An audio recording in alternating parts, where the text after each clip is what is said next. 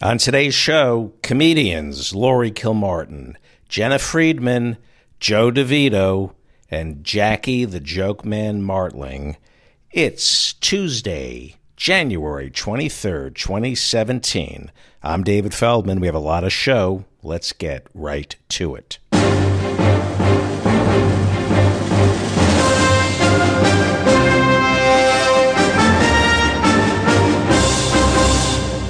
So, what before we start, mm-hmm. it's really good if you say things like, you know, when I was growing up, I used to watch you on Comedy Central. If you could mm-hmm. do that, and how's your fake laugh? Uh-uh. That's good. I like that better. Uh-huh. Okay, and you and you know my resume, right? Can you tell me it again? Just say, you know, what? Just sprinkle in some references. Wait, did you write for Triumph? Yeah, sprinkle that in throughout the interview. Because I just I was a consultant on Night of Too Many Stars this year. It was the first time I got to work in a room with Smigel and those guys. All right. interesting stuff. and and just say that like my shots on Leno were like a master's class in political satire. If you could. Leno, I'm very young. Who's what? you just say it. It doesn't matter if it's true. Okay, All right, thank you. Are we are we ready? David Le- John Leno. What was his name? J- uh, Jay Leno. Jay Leno. Jay Leno, Okay, yeah. Before my time. Jena Friedman is a stand up comedian, actor, writer, and filmmaker. She's about to star in her first late night special for Adult Swim. Mm-hmm. She's also worked as a field producer at The Daily Show with Jon Stewart and has written for Late Show with David Letterman. You know Steve Young. I love Steve Young. Nobody loves Steve Young. Oh, he's, come on. He's like Lauri Kilmartin, Oh. the two most detested human beings on the planet. He's the best. Steve Young is has undermined me every st- he's a genius. We have him on the show all the time. Oh, I cool. love him. Yeah, he's great. You're a critically acclaimed stand-up Are you laughing at me? Don't laugh at me, please. I'm very vulnerable right now. This might be the greatest title ever. Thank you. Ever. You want to say it? American Cunt Yeah. is now available on Amazon and iTunes. I hate the word American. I'm all right with I cunt. know that was like the first joke, and well, the A word, I call it. yeah, Oh, you already did the, I didn't see the special. yeah. Well, I I made it for a British audience, or mm-hmm. no, actually for like a UK audience. I did it in the Fringe, and that was like you know that was the first joke. It was like you know the more offensive word of the two is American. Especially in Great Britain, cunt is so, oh, I can't believe I just said that word. It's you. fine in the UK. It is a term of endearment. Yes. And it's also like defensive driving. If you call your show American Cunt, then anybody going to see it, it's like you got that out of the way. You can say whatever you want. The worst thing they'll call you is what you called yourself, so you're Right. fine. It's it's interesting. Like bloody is more offensive in England than cunt. Maybe. Yeah. I mean, maybe. Yeah. Um, it was interesting though because there was one specific show that I had. I think all it was almost all men in the audience because they thought it was going to be like a sex show or burlesque, and it was just like a radical feminist comedy hour. That's like exactly the opposite. But they were good sports. They like good joke writing. Yes. I worked really hard on that. it's a better scene than the American scene. yes, for sure. It really is because they're more literate Mm-hmm. and more fluid because of the Commonwealth. People who speak English, except in America, can travel all over the world and perform, and we keep people out of this country. That's true. They also have a longer history, like Shakespearean theater, and so they value, I think, performance as part of their culture in a way it's not as much part of ours. Like they all Right. go to the theater. They treat comedians they, the way that we treat like rock musicians, or that mm-hmm. we did in like the mid aughts, whatever. I mean, Yeah. I don't think people now know what like kids these days don't even like know what musicians are. They're kind of like DJs, kids. By calling it American C word, Cunt. don't we no need no need to But I didn't call it American C word. I hate the C word. Okay. In fact, I wouldn't even go to Sea World. All right, I'm not, I'm going to pretend that was just a blip in the that wasn't okay. Um, It's a tough word in America. I mean, it's a great word. It's so funny that it's a tough word because of how we treat women. It's it's just it's like so the special was interesting because it I did it in the Edinburgh Fringe in 2015 and then when Seeso, which is like a online platform that it's like if a tree falls in the woods and the woods is a digital media platform nobody sees, does it make a sound? No, not in that case. Nobody saw Seeso. Nobody saw it. It was I NBC saw it, Digital. All right, all right, all right. It was NBC Digital. When they wanted to produce a special, I have no time. when they wanted to produce a special, I it was like six. It was you know six months leading up to the election, and I was like, well, why don't I just re like change the whole second half to actually be about this? Because it was originally just about. It came from this title that my friend was like, you really need a catchy title. And then the show wrote itself. I was like, okay, if the show's called American Cunt, it should be about like the status of like, you know, the status or whatever, like women, feminism, blah, blah, blah in 2015. And then when the election happened, it lent itself to just such like a examination of gender and politics. And then so the show completely, like half of it changed after Edinburgh to, to uh, track with what was going on politically in our country. Do you think I would be woke the way I am now if Hillary had won? Yeah, I mean, Hillary, first of all, did win. Okay. she won the popular vote. The Electoral College is like a relic of slavery, and Russia hacked us. Anyway, if Hillary were in the Oval Office, if Hillary were in the Oval, Oval, Oval Office, like, yes, I, I think we'd still be having these conversations. Now, there is just an urgency because what happened was so shocking and so against what, you know, at least 70% of the country wanted. Um, uh, we're, we're just like, I think, in shock now. So there is just this feeling of, you know, getting on your feet and protesting and being out there and being vocal. And as women with the whole Me Too movement and everything, I think people are just like, well, like a alleged rapist is in the White House and. not alleged, he's a. ra- It's in the court documents in the divorce. Ivana said. Yeah. I mean, her. I just don't want to get sued, so I'm being a I'll little say bit more it's careful. in David Cay Johnston's book. Yeah. So, you know, I think there's just this moment where we're like, well, what do we have to lose? Somebody was talking about the Me Too movement making it, oh, so in the future, men aren't going to believe women. They don't now. So what do we have to lose? That's the whole thing. I think that that's, I think all the stuff coming out is really just a reflection of this is what it looks like when, you know, Trump is president. And will there be a backlash? That's a whole nother thing. But there's been a backlash before. We've weathered it. The Republicans are want to destroy our government and um, you know Your reproductive rights. our reproductive rights, and so it's just kind of like, well, what do we have to lose? and why are you so calm? Why am I calm? Yeah, you seem so reserved and okay with everything. Well, I was very, very stressed out leading up to the election coup, tomato, tomato. And I was freaked out for, you know, all of 2017 was really hard for me creatively because I was just like reading the news every day and unable to function. And I think I've just gotten to the point where um, I see a path forward. It's either forward or like out of the. It's it, the question is like you know if we get a we should all be lucky he's so stupid. You know we're like Trump is so stupid, and so thank God because if it were Bannon in the White House or like Paul Ryan as president, you know we'd get a lot more done. Um, B they would get a lot more done. they would get us. a lot. They Yeah. would get a lot more done. B, you know, if we all die in a nuclear fire, I'm in New York. It'll happen quickly. You know, it's fine. And then also, if we do get through this with our democracy intact, it's a testament to the strength of our system, which I'm still on the fence about. You know, I didn't, I never realized that checks and balances were just a suggestion, as it looks like they are. But we'll see. And also, the Mueller investigation has turned this nice corner. I read The Fire and the Fury. Yeah, me too. And I feel, you know, even if it wasn't entirely uh, accurate, it felt like a reflection of what the year had felt like for me. So it's like now at least we're not crazy. I think that's a big thing. Yeah. So I feel like I feel like the darkness is, you know, we're either out of it or we're just gonna have to leave the country because it's gonna turn into fascism. And there Yeah. you go. I said me too. I read the. Okay. book and- you want to get into that? We can talk about that. I thought you would just say we had a, a little bond, a, Oh, a Me yeah. Too moment that we had read the Well, same don't. Me Too moments aren't necessarily things that men and women should share with joy. So you are really well informed. I have fatigue. I get this every now and then.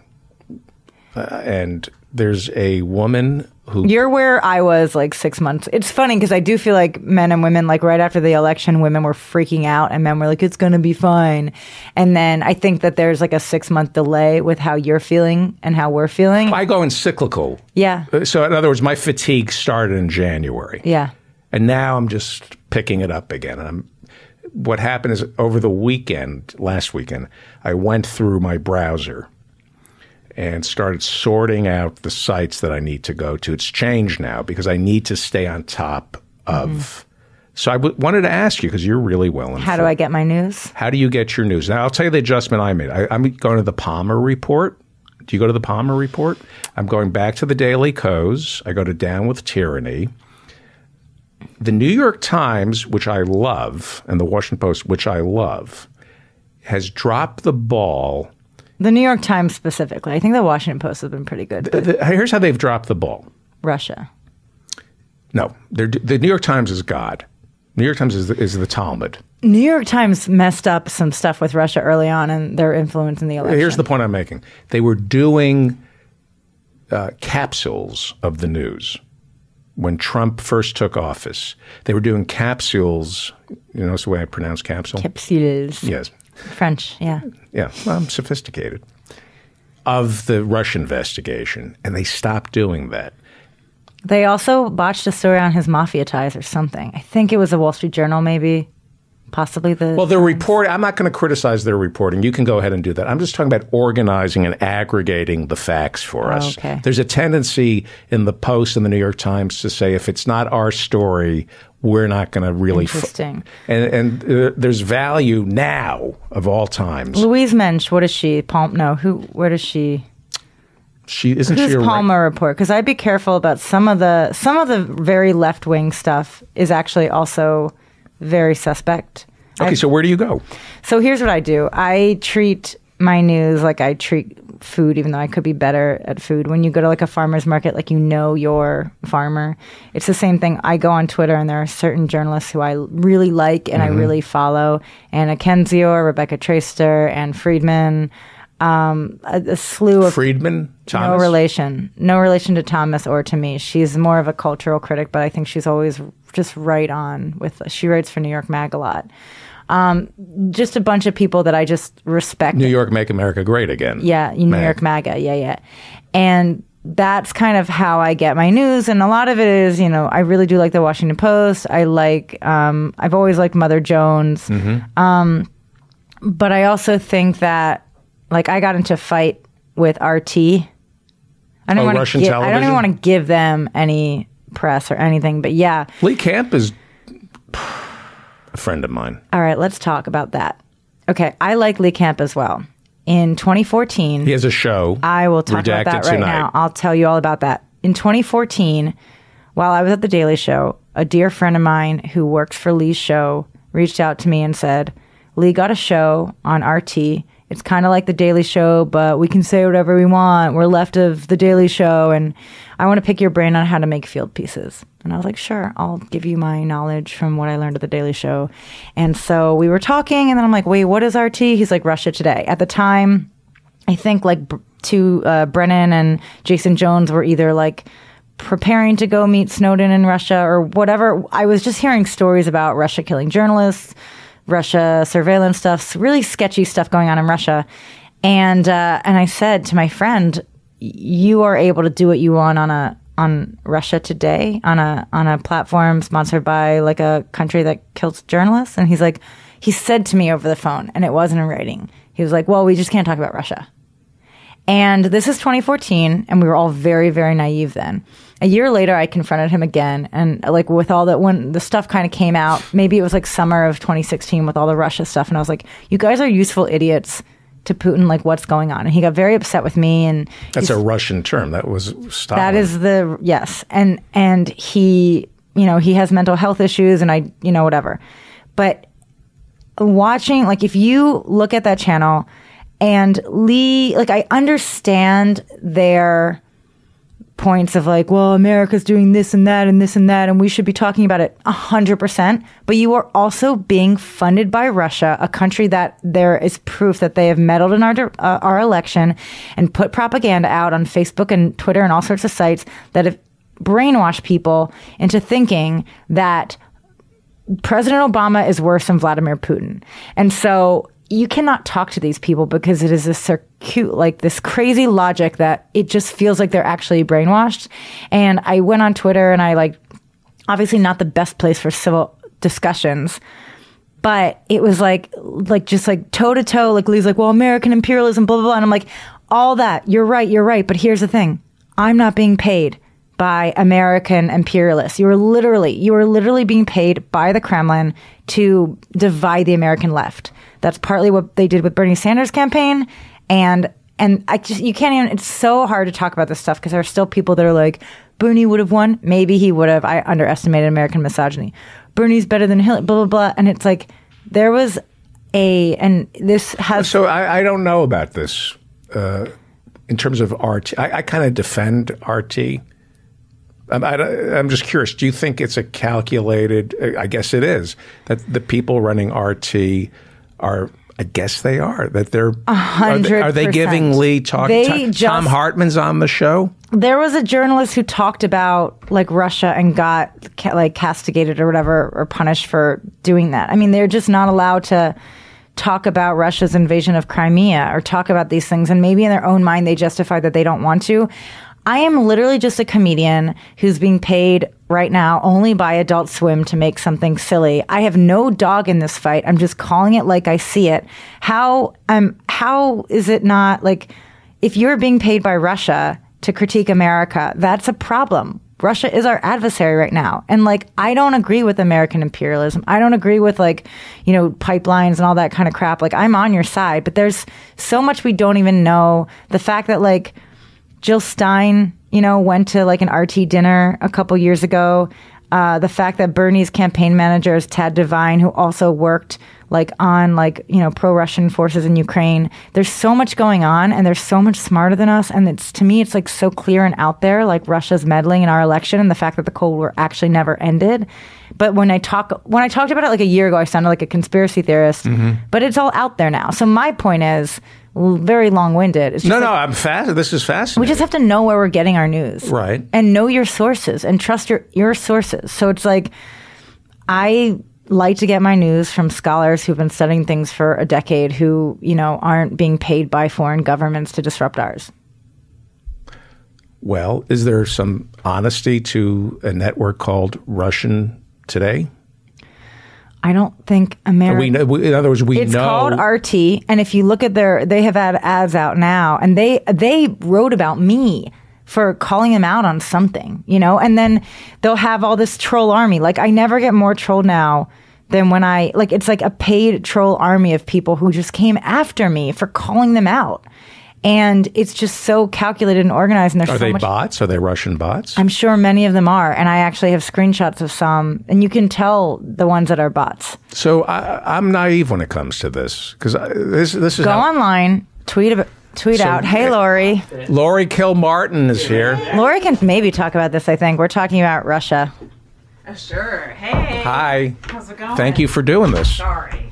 Lauri Don't Kilmartin joins us. Let me give anything. an introduction to Lauri Kilmartin, who nobody likes. it's nice Russians love me. Nice to see you too. I am so sick and tired of hearing about you. Everybody loves Lauri Kilmartin, and I'm oh sick God. of it. Uh huh. There, some allegations are going to come out soon. Lauri Kilmartin is an Emmy-nominated writer for Conan, and as a stand-up comedian, has appeared on Conan, where she killed. She killed on Last Comic Standing, Jimmy Kimmel Live, Comedy Central book, Comedy Central. Her book, Shitty Mom. I have a book coming out next month called Dead People Suck. Enough about Shitty Mom. That's like five years old. Who cares? It was a New York Times bestseller. For a week, yeah. Yeah. On December 29th, Thanks. 2016, her Seeso comedy special. I know. Both of us are Seeso refugees. Did you see Saw on Don't, don't, don't, don't. I know. I told him not to the first time. I saw his eyes light up. Yeah, He no. got so excited. He I was- cute, but no. uh, 45 jokes about my dead dad Mm-hmm. and your new book dead people suck which i was going to get to Oh, okay. will be released by rodale press do they publish prevention magazine They Rod- do. Yeah, they had they have they had a book cool. uh, division that just got bought by Crown. Gra- wow So- wow coming out in february and you can pre-order it on amazon barnes and noble wherever books are sold or on your website i would assume It goes right to Amazon. yeah hi Hi. So you're in New York. Mm-hmm. First up, I your article in the New York Times. Well, wait, weren't you guys talking about Russia? Yeah, but Wait, you were? you- Was it the New York Times? Yeah, whatever you you wrote something recently that was awesome. That Oh, article thanks. that you wrote. You just Yeah. hit all the spots. It was great. yes, Thanks, it was dude. perfect. Yeah. It was Thanks. perfection. It was Thank you. perfection. Why don't you? It was. Uh, I don't. I don't have it in front of me, and it was in October, I believe, right? Yeah. Or November. Wait, it was October. Uh, I, I- somewhere, yeah, maybe. And you were talking about being a comedian yeah, just being and- a female comic. and a comic in the Louis C.K. world. Well, just in our world, In our I, I think Yeah. they titled it that to get clicks. but it was, it was sort of like, uh, you know, this is just all the opportunities you miss because you're either being very cautious or people don't think of you, and and how women voluntarily pull themselves out of situations because they don't want anyone to think they're trying to, you know, hustle the wrong way, or they actually are worried about their own um, you know, physical safety, and then you get less stage time, and it takes you longer to get better, ba, ba, ba, ba, ba, ba, and it starts to really add up after 20 years. Financially, that was the thing that blew me yes. away. Yeah. Mm-hmm. Where you you say How how it's like so clear. No, sorry. what? How they miss that? it's just like well, yeah, the financial toll. I mean, it's emotional Mm-hmm. toll, it's professional toll, but like, please. I The mean, idea that okay, if I go to this club, the booker is going to harass me. So I can't go there. So I Mm-hmm. Right. can't step foot in this club. Right. If I go to this club, the booker's nice, but there's a bartender, right. and every so I, yeah, so I didn't. we, I- we subtract a lot of potential work just to stay uh, safe. I this guess. guy can't take me on tour with me. This guy's either creepy or his girlfriend will think he's hitting on me. Yes, yes. Or yes, this woman yeah. can't take me on tour because the bookers are like, why would you have two women on stage? You know, Mm-hmm. like Right. there are so many factors. I remember there's like one booker for a festival who said, like, if a woman walks on stage in heels, I'll immediately, you know, not take her seriously. There's so many micro things and macro things that just Mm-hmm. affect us at every level all the time.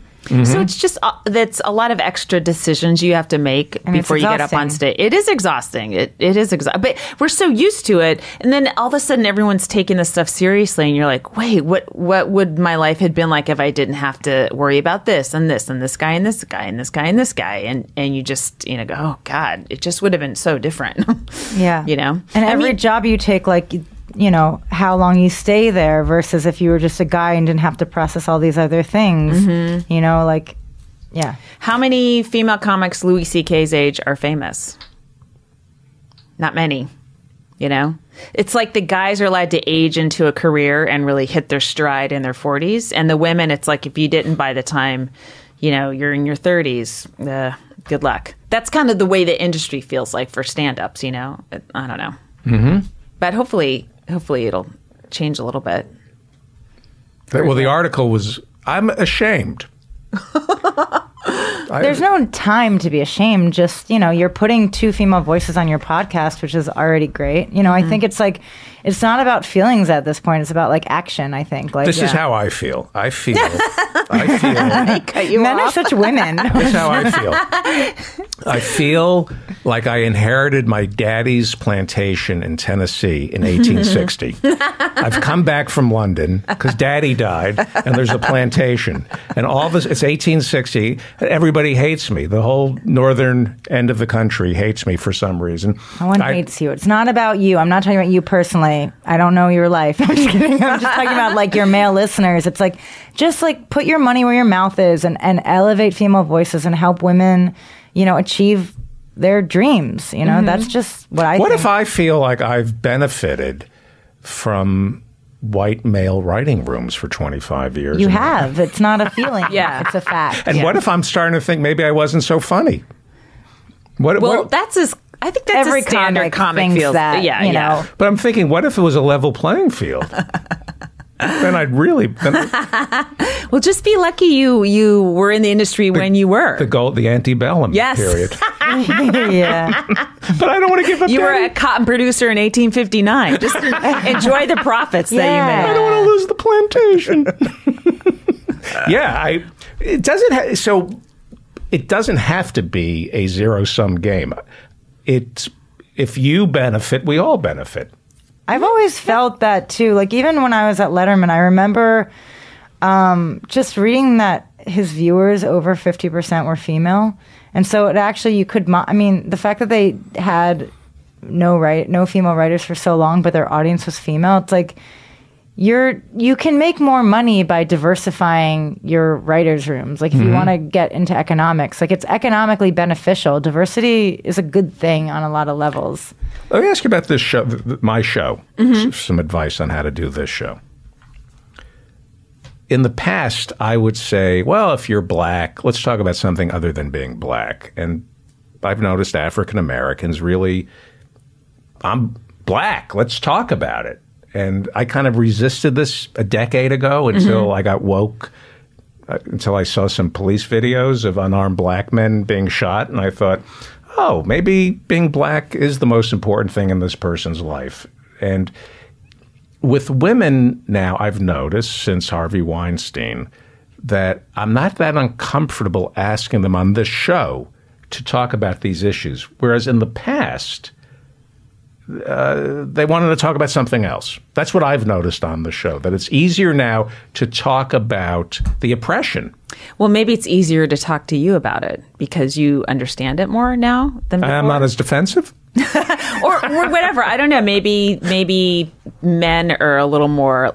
You know, like like you, you see a million police videos of young black kids being shot. You're like, oh, this is this is still happening in a way that I'm not aware of. So I guess if you acknowledge what you're not weren't previously aware of, you become easier to talk to you about it, right? I also think there's this thing of like people, like white men, not you, I'm just saying in general, in general, tend to view like women as like this monolith or black people as mm-hmm. this monolith. And it's like everybody's different. Like when I first started comedy, I was like, I don't want to talk about like women's issues. I think the most feminist thing I can do is talk about everything else on stage, talk Right. about politics. And that was just my own personal That was the Bill thing. Cosby thing. That Bill, Oh, where right. Bill Cosby, I'm not going to be a black comedian. or whatever. yeah. uh, but th- that's gonna be a, a reflection of.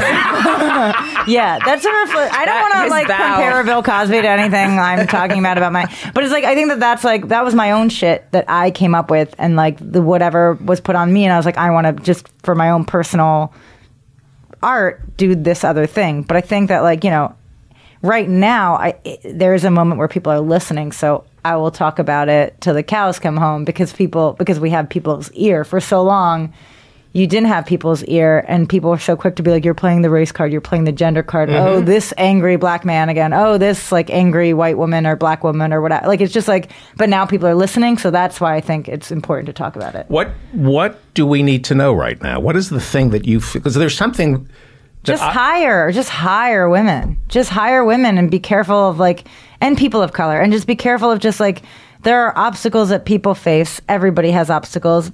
Women and people of color and women of color have different obstacles and just be cognizant of those. Try to make it easier on them and bring them into the fold. Mm-hmm. That's the issue right now. So so it's a, it's an economic financial. why are there so few female directors? Because nobody's taking chances on funding female projects. Just pay just give women money to make things in this industry in other Right. industries you know be co- like working moms oh, a mom is working anyway so just make the workplace easier for her to thrive make society easier her, for her to thrive you know Mm-hmm. Right. just like having empathy of other people's experiences and helping them achieve success i think is just paramount to what this conversation's about Right. Yeah, like if you look at the tech industry and it's it's uh, it's not a good place for working parents in general. Uh, it's it's like young men who are willing to code for twenty hours straight, and you know on the first level you can say, well, they achieved a lot because they gave up everything and they just lived in you know in a bubble and did what they, you know, made made the products they made. But now, when you look at what Facebook and Twitter, et cetera, have done to our democracy, it's like, wow, you guys really, you really fucked, it it up. up. You mi- you really missed the boat. You didn't have a voice going, hey, um, so this is this seems like this seems like an error right here. Is this you know? It's just like no, no, no. Let's build it faster and faster. Let's scale up. Let's get as many people on our thing as possible without you know. So they checking to see disrupted what the democracy, was. and now we're back in like 1935 Berlin. yes, you know, 1938 Berlin. And I think if you did, you didn't have all of the same type of mindset working on something. Um, that's when you can start asking those questions and not not cause the horrific problem that they've caused now. You know. What is the thing you like today feel that people don't know about the, the women's march or the issues that are facing women moving forward? What is I have something that I feel people don't know. Well, you tell me. What what is it? uh, Well, no, I'd rather hear what you have to say, but there's something burning inside of me to get out. Just go for it. Go for it. but I'm I, but I'm curious to know what you feel like right now when you were in the cab Oh, la- late for my show. right. We're just living this all the time, so I don't think we're like having like one thing. But what do you feel like the people well, I mean, don't uh, get? what I would. uh, That's only. It's only going to come from my point of view, but you know, as like uh, an older, like Generation X, older Generation X person. Uh, I, I put up with a lot of shit that younger women are like, I don't want to put up with this. And I'm like, uh, when I hear that, I, I'm always sort of shocked. Like, gosh, I wish, you know, I, I wish I hadn't. Although I was in a different situation where I didn't get any support. If I'd have said no, they would have said, okay, goodbye. Well, you're out of yeah. the business. But it's just such a different time um, for women that are like in their 20s and 30s. A visceral you know. reaction. But it's, the, it's the babe, spreading upward. The babe journalist. dot China, babe dot org. Babe.net, Babe.net. dot China. I will say, I don't think I would call. I thought that just the writing of that piece, the way it was presented, but I- I- did I- no can- one any you- favors. Can I? Can I? Okay, let me. But let's hold. Can you hold that for one yeah, second? of course. Ashley Banfield Yeah. attacked the article, and the writer. Yeah. I saw. Oh yeah, I, I, saw want to know what your visceral reaction hilarious. was to the I miss ri- being 22, man.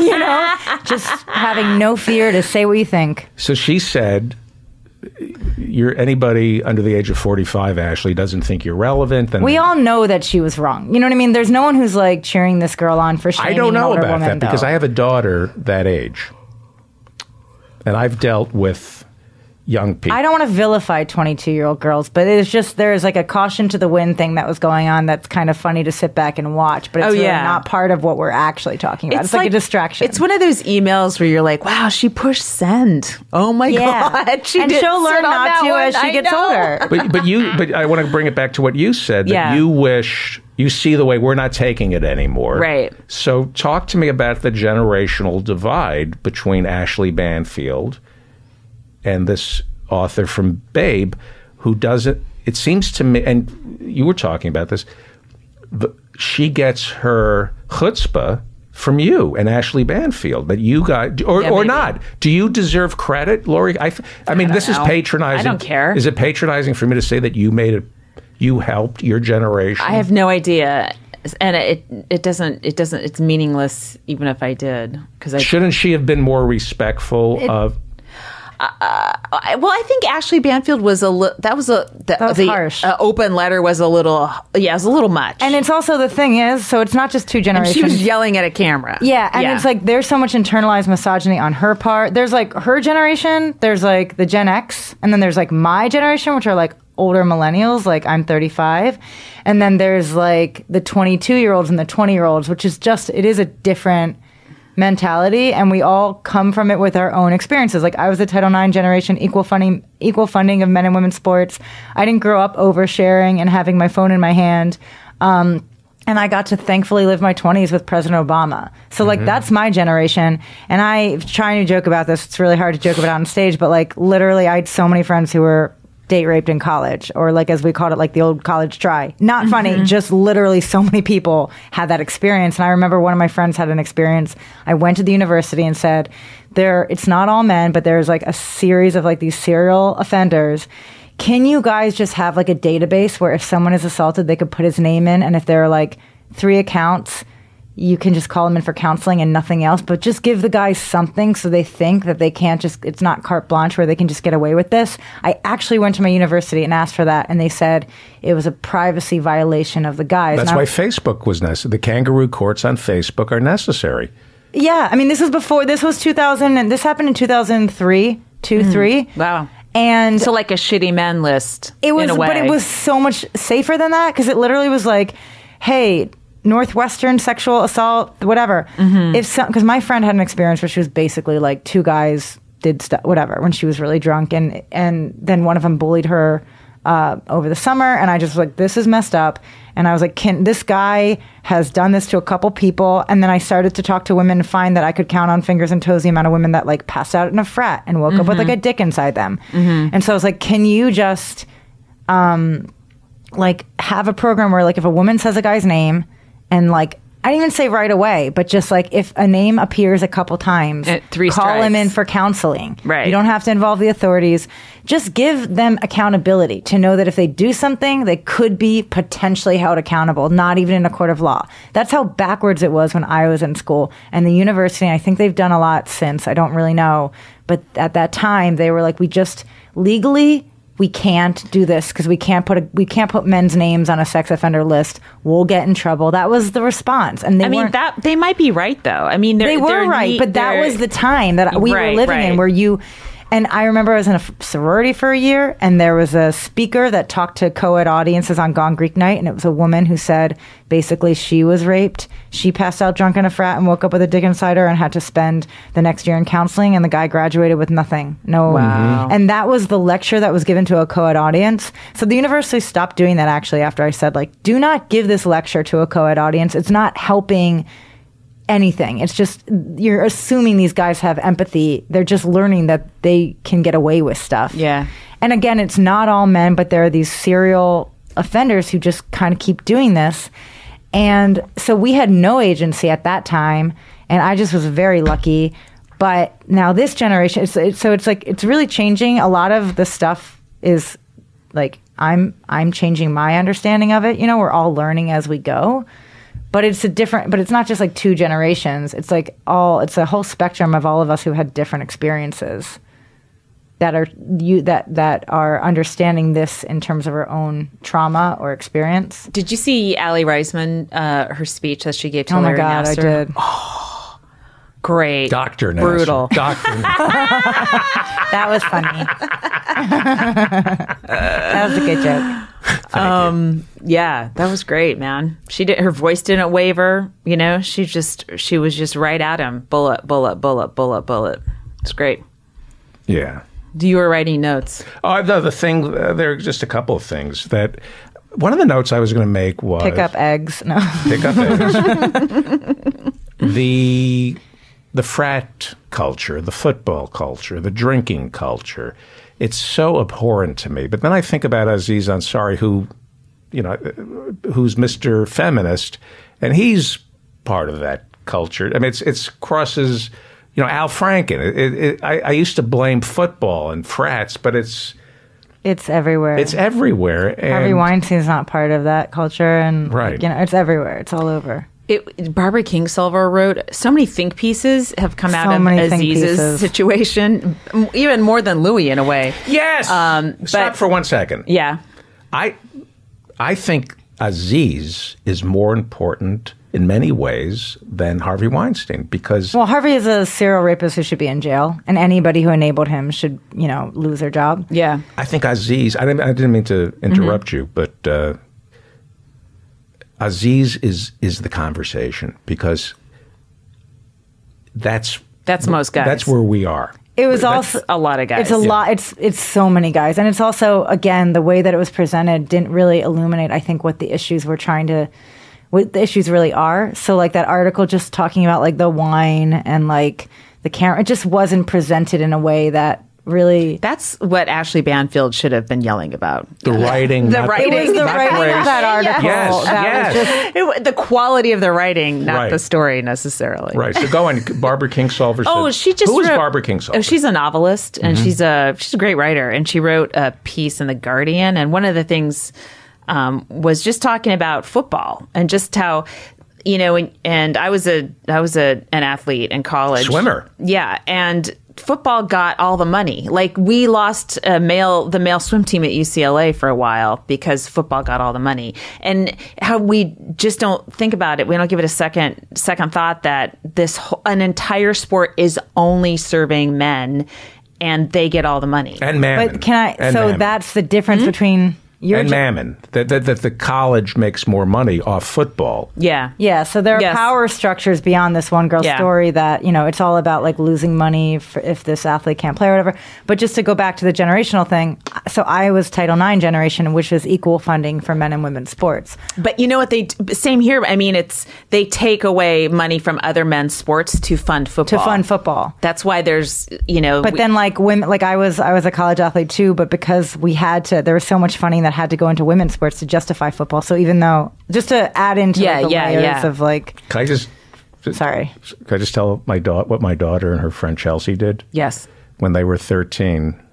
They played male little league, Oh yeah. and they went to the World Series. And my daughter, Your daughter did? I didn't know that. yeah, That's cool. Oh, in in Beverly, the Beverly Hills, L.A. area, not the big World. Oh, they went. They So- go to Tokyo. They- they- Wait, there are there are little There's a World Beverly Series? Hills World Series, Yeah. of course, 'cause that's and how Hollywood, they, and I, I, I That's tell how her- you would do it in Beverly Santa Hills. Monica. but- you are the most important child. It's so this you- side of the 405 and that side of the 405. It's the world. what I noticed, they were the only two girls in the male little league. They had to go in, and they were militant about it. And I noticed the boys. e- This was like ten years ago. The boys were kind of, you know, they didn't want her, but they upped their game. The boys upped their. They wanted because my daughter is, you know, and Chelsea, you know, and uh, They were good. yeah, I don't know. They were not good, Oh, okay. actually. But they got on base. Okay. They they would figure out how to get on base. Sometimes that's all you need, man. yeah, that's all you need. That My daughter would get. She couldn't hit, and but somehow she got on base. And what I used to do when she got on base is I go, "That's my boy. That's my boy." People would turn and hate me, and my friend Christopher, his daughter was Chelsea, and he'd go, "That's my boy." the- were the people hating you? They hate- they hate were, me Were they your daughter and Chelsea? my daughter and Chelsea hated, they put up with me, but uh, yeah, it was funny because the the women, the mothers, got pissed off at me when I referred to my daughter, and Christopher referred to his daughter as his son. Is that wrong? Is that bad? I guess that's bad, right? I don't As long as know. you're there for her and you got, you know, it's great. Yeah. Sometimes I think women or guys think that women are mad at them when maybe They are are. just not, They are. or they're thinking of something. You used else. to sit in the back of the. But we, I'm older. Than Oh my you. God! I just drove by. I was in the Bay Area last weekend, and I drove by Laney. Was it Laney College or Mills College that used Mills to make? College. Oh, okay, I drove by Laney. So then. you- but it reminded me of you and Mills College and your war against them. because it was an all women's college. Yes. this is the late '80s. He would get booed so much by audiences, and he kept going. like a, a lot of us, like if a joke consistently gets a boo, we're like, stop. I'm going to drop it, or maybe I'm going to tweak it. Do you remember he, any like tags it. He's like, no, let's Lauri make this used a to- chunk I was a headliner when Lauri started. in in, San some Francisco. rooms. In some, and I would do jokes like, "Ladies, I I've respected women before they even deserved respect." That's funny. is it funny? That's how I laugh as a comedian now. I'm just like, that's funny. But is that funny or offensive, I mean, depends on the audience. If it's like a Lauri? group of, But you used to laugh at all my faux sexist. Yeah. I think that's Well, funny. I thought it was. I mean, but whatever. Other people, they didn't get it, and they Mm-hmm. got very angry. It was th- that's also was fun to watch the Yeah. audience get angry at you. Yeah, yeah. What were we talking about? I was going down memory lane together. oh, you were talking about the Aziz stuff, Aziz. and then I Yeah. want to ask you about Russia. Okay, yeah, well, I want to ask you about Aziz. This is what's burning to come out of me. okay. that in my dotage, I have learned that a woman who's 22 can go up to Aziz Ansari's apartment, not knowing what her plan is. That she's allowed to be starstruck. She's allowed to be turned on sexually. She's allowed to blow him for a little while and then slow it down. And she's also allowed to go up there as long as they're not in an office situation where they're just free floating in the universe and there's no job. She's allowed to go up there because Aziz Ansari is powerful in the business. And maybe if I blow him and there's some intimacy, I could get some work out of this. She's allowed to think all those things and it's innocent. And that's something that I probably, I guess 30 years ago, would have said, Why are you going up to Mike Tyson's hotel room at three in the morning? The, the, the Right, Desiree right. Washington, Right. you know, and- or and the the Anita Hill, uh, the libel against Anita Hill was, well, why did you stay in touch with him if he was so horrible to you? Why did you? Because, like you said, People have to money. survive. They, you need to make money. Career. Yeah. Yeah. That- uh, survival though too you know what Yeah. i mean like you it's just like it's not like even opportunistic it's like survival i mean and I- you can conflate as a woman. And those might not even those what you just said is i thought pretty insightful and sensitive but that also Then might not have right even there. been the let's end the conversation right there. that might not That's have even wrap, been her thing. Like Right. that's a, your projection onto her thing that I think that that mm. article did no justice for. Right. My first impression when I read that, it was like, this feels weird. There's a lot going on, and it to me is like, and I'm afraid to say anything because it's like that line between.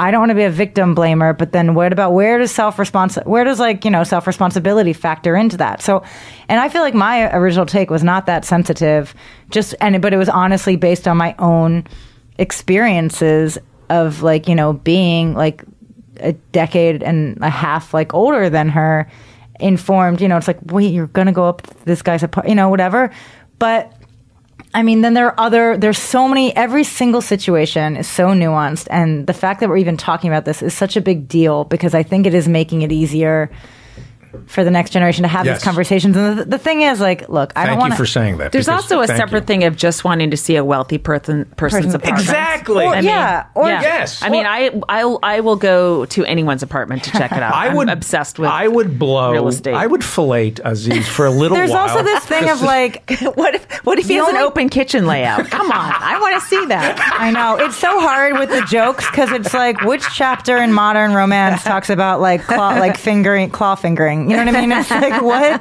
Like that's to me the thing too. Like we we never talk about like men of a certain age and status like know what they can get away with and they know how people respond to them. And I don't want to blame Aziz or anything.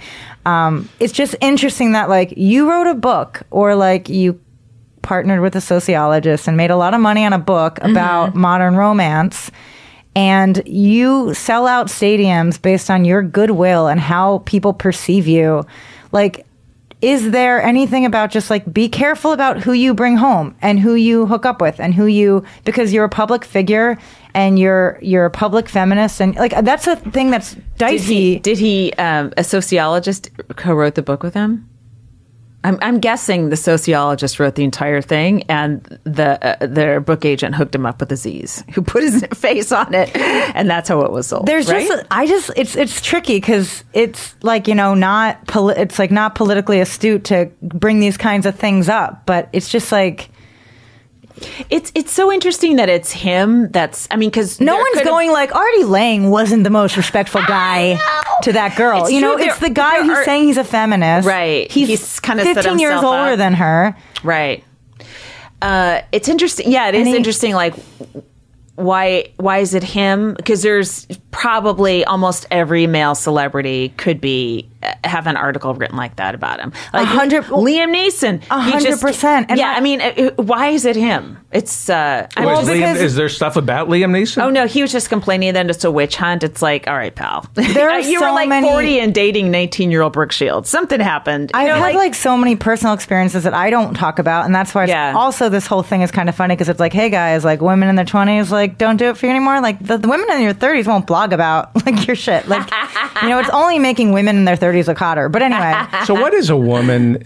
This is all conjecture. Were you going to say something? Yeah, just Okay. the idea that like there have been many instances of just being like a female. Like I have a boyfriend now, but I've been single for a while and navigating the comedy entertainment world for like you know the past literally decade. And there's so many instances where men and some were married have made overtures to me that I just thought like wh- you are trusting me so much to not say anything. Not tell, And I'm right. so it's so shocking and I never said anything, but it's like it's so shocking that you just assume that people aren't gonna say, hey, this married guy complete like and I've been groped so many times I can't even register. Like I actually on a Seeso show before the morning after, I was groped by a mime, which sounds like a joke. It sounds like a joke. And I've been making it a joke, like I've been groped by a mime, but uh, I was silent until now. But the reality, women get groped so much, the jokes write themselves. Like that's the reality. And so it's Is it? And it is funny. I, it didn't it didn't when I was groped it didn't traumatize me because I just like it, I just didn't everybody processes things differently. Right. Sometimes you're like, really? Come I just, on. It didn't even. I, yeah, I was like, you're clearly losing status. No one finds you funny, sexual mime. So you're gonna like grope me to try to like you know. And when get- you say grope, if you I meant grope, like, Like, literally on the your mime breasts. went up to me. Yes, I'm not like a breast person, so I didn't even register. I was just like, what? Like I'm not. That's a mm-hmm. whole separate whatever. And what is he thinking? He's a mime who's like in Edinburgh. I think I honestly he was acting out a sex move. This is so not the issue. It's like such a random. This is kind of the Al Franken thing, though, because he wrote a sketch with that woman Leanne Ward when they were on tour, where he had to like forcibly tongue her, and you know insisted on rehearsing it that way. I thought that was kind of the grossest Eh. thing Guilty. to me. You yeah, know, that's pretty bad. Yeah, Yeah. I have made out with a guy in a sketch before when I was at the Annoyance Theater in Chicago. It was like this weird. Who wrote the sketch? I think I wrote it.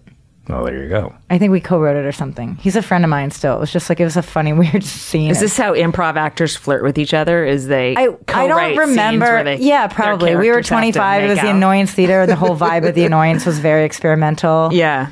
And it was just a fucking weird sketch. It, it was just stupid.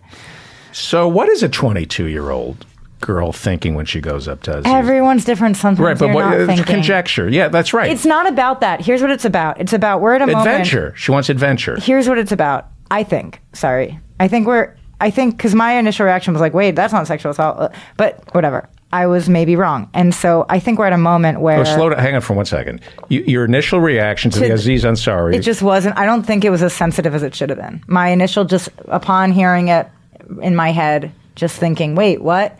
But we're at a moment where we're having these discussions where wouldn't it be great if like every sexual encounter was like consensual and enthusiastically so? And that like people could you know understand the external forces of how they are perceived in space and how like other people perceive them and be able to mm-hmm. navigate those things effectively and sensitively. Like we're able no Ali- aziz isn't losing any work or he's not losing his job or something You from know this. what's strange is he hasn't really said anything. You know, he's. I think he's sort of waiting for it to die down. I. I don't think this is going to hurt him work wise. he said he you know? he did say something which was like you know a, a- one statement, and then that's it. which i think is the best way to be Might It's be like, just, just let people talk it out until they're done. yeah right. And he was like, I misunderstood it. I stand with victims. That's like what he said. Let me Yeah. uh, pursuing women.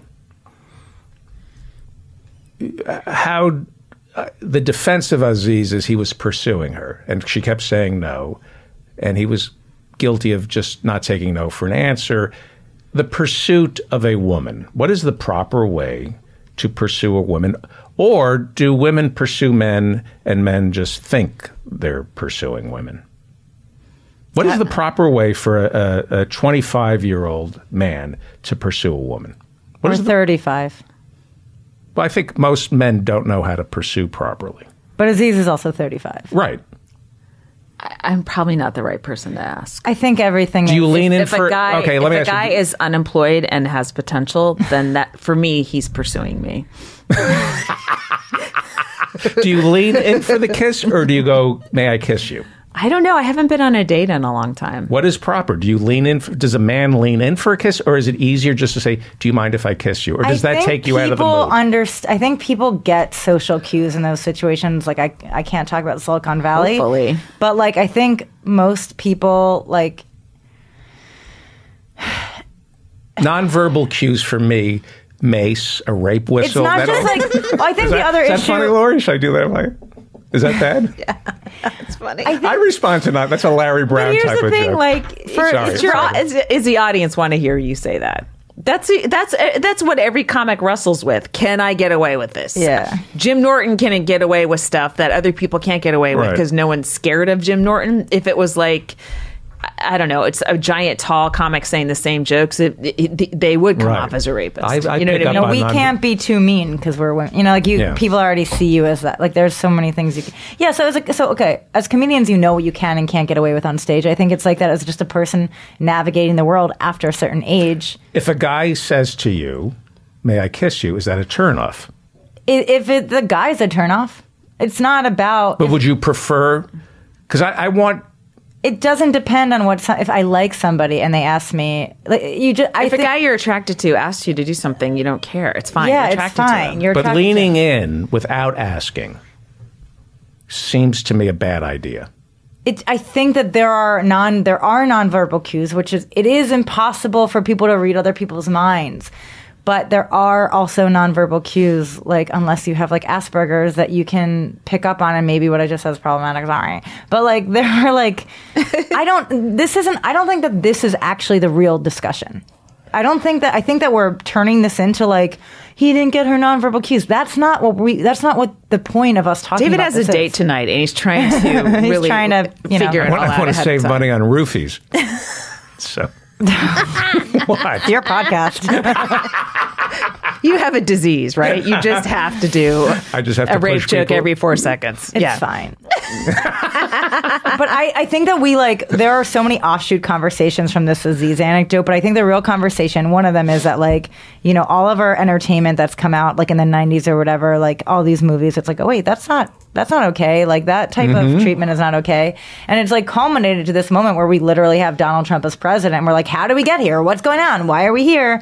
And it's so many a confluence of factors. But I think as women who just are like, fuck, we like we're tired and we're putting it all out there and we're trying to figure out like how we can make it easier on the next generation. Well, there are societal norms, and they kind of dictate pursuit. We learn mm-hmm. in the movies. and they're changing really fast in really so cool ways. let's go back to nonverbal cues. Isn't it better f- for men? There's a whole thing about affirmative consent, which they, I think, legislated. They like passed it in, California, California, and yeah. then there, the my the best article that I read about all this shit was Lindy West's article in the New York Times. Oh, yeah, that was because great. it talked about the context of like if you're a feminist, just know about the literature that's out there about affirmative consent. It's not just like will she let me fuck her. It's like can I turn her on? Can I can I like engage her and excite her? And make her want to like have I think the biggest problem with the with the girl in that article was that she was upset Whoa, when whoa, whoa, whoa, okay. uh, I know I'm all we, over the we have place. to- that's all right. That's all right. I'm sorry. The the Lindy West article. It just gave a context for what we're talking about. Yeah, and she was also saying because everyone, you know, the, a lot of guys were like, "Well, okay, I didn't know that," or you know, and it's like, no, it's actually been available. You know, this has been talked about during this decade and this What has decade been and the- talked about? coercion. And What does that mean? Power dynamics. Look, sex. so, slow down for one second. Right. You're throwing a lot at me.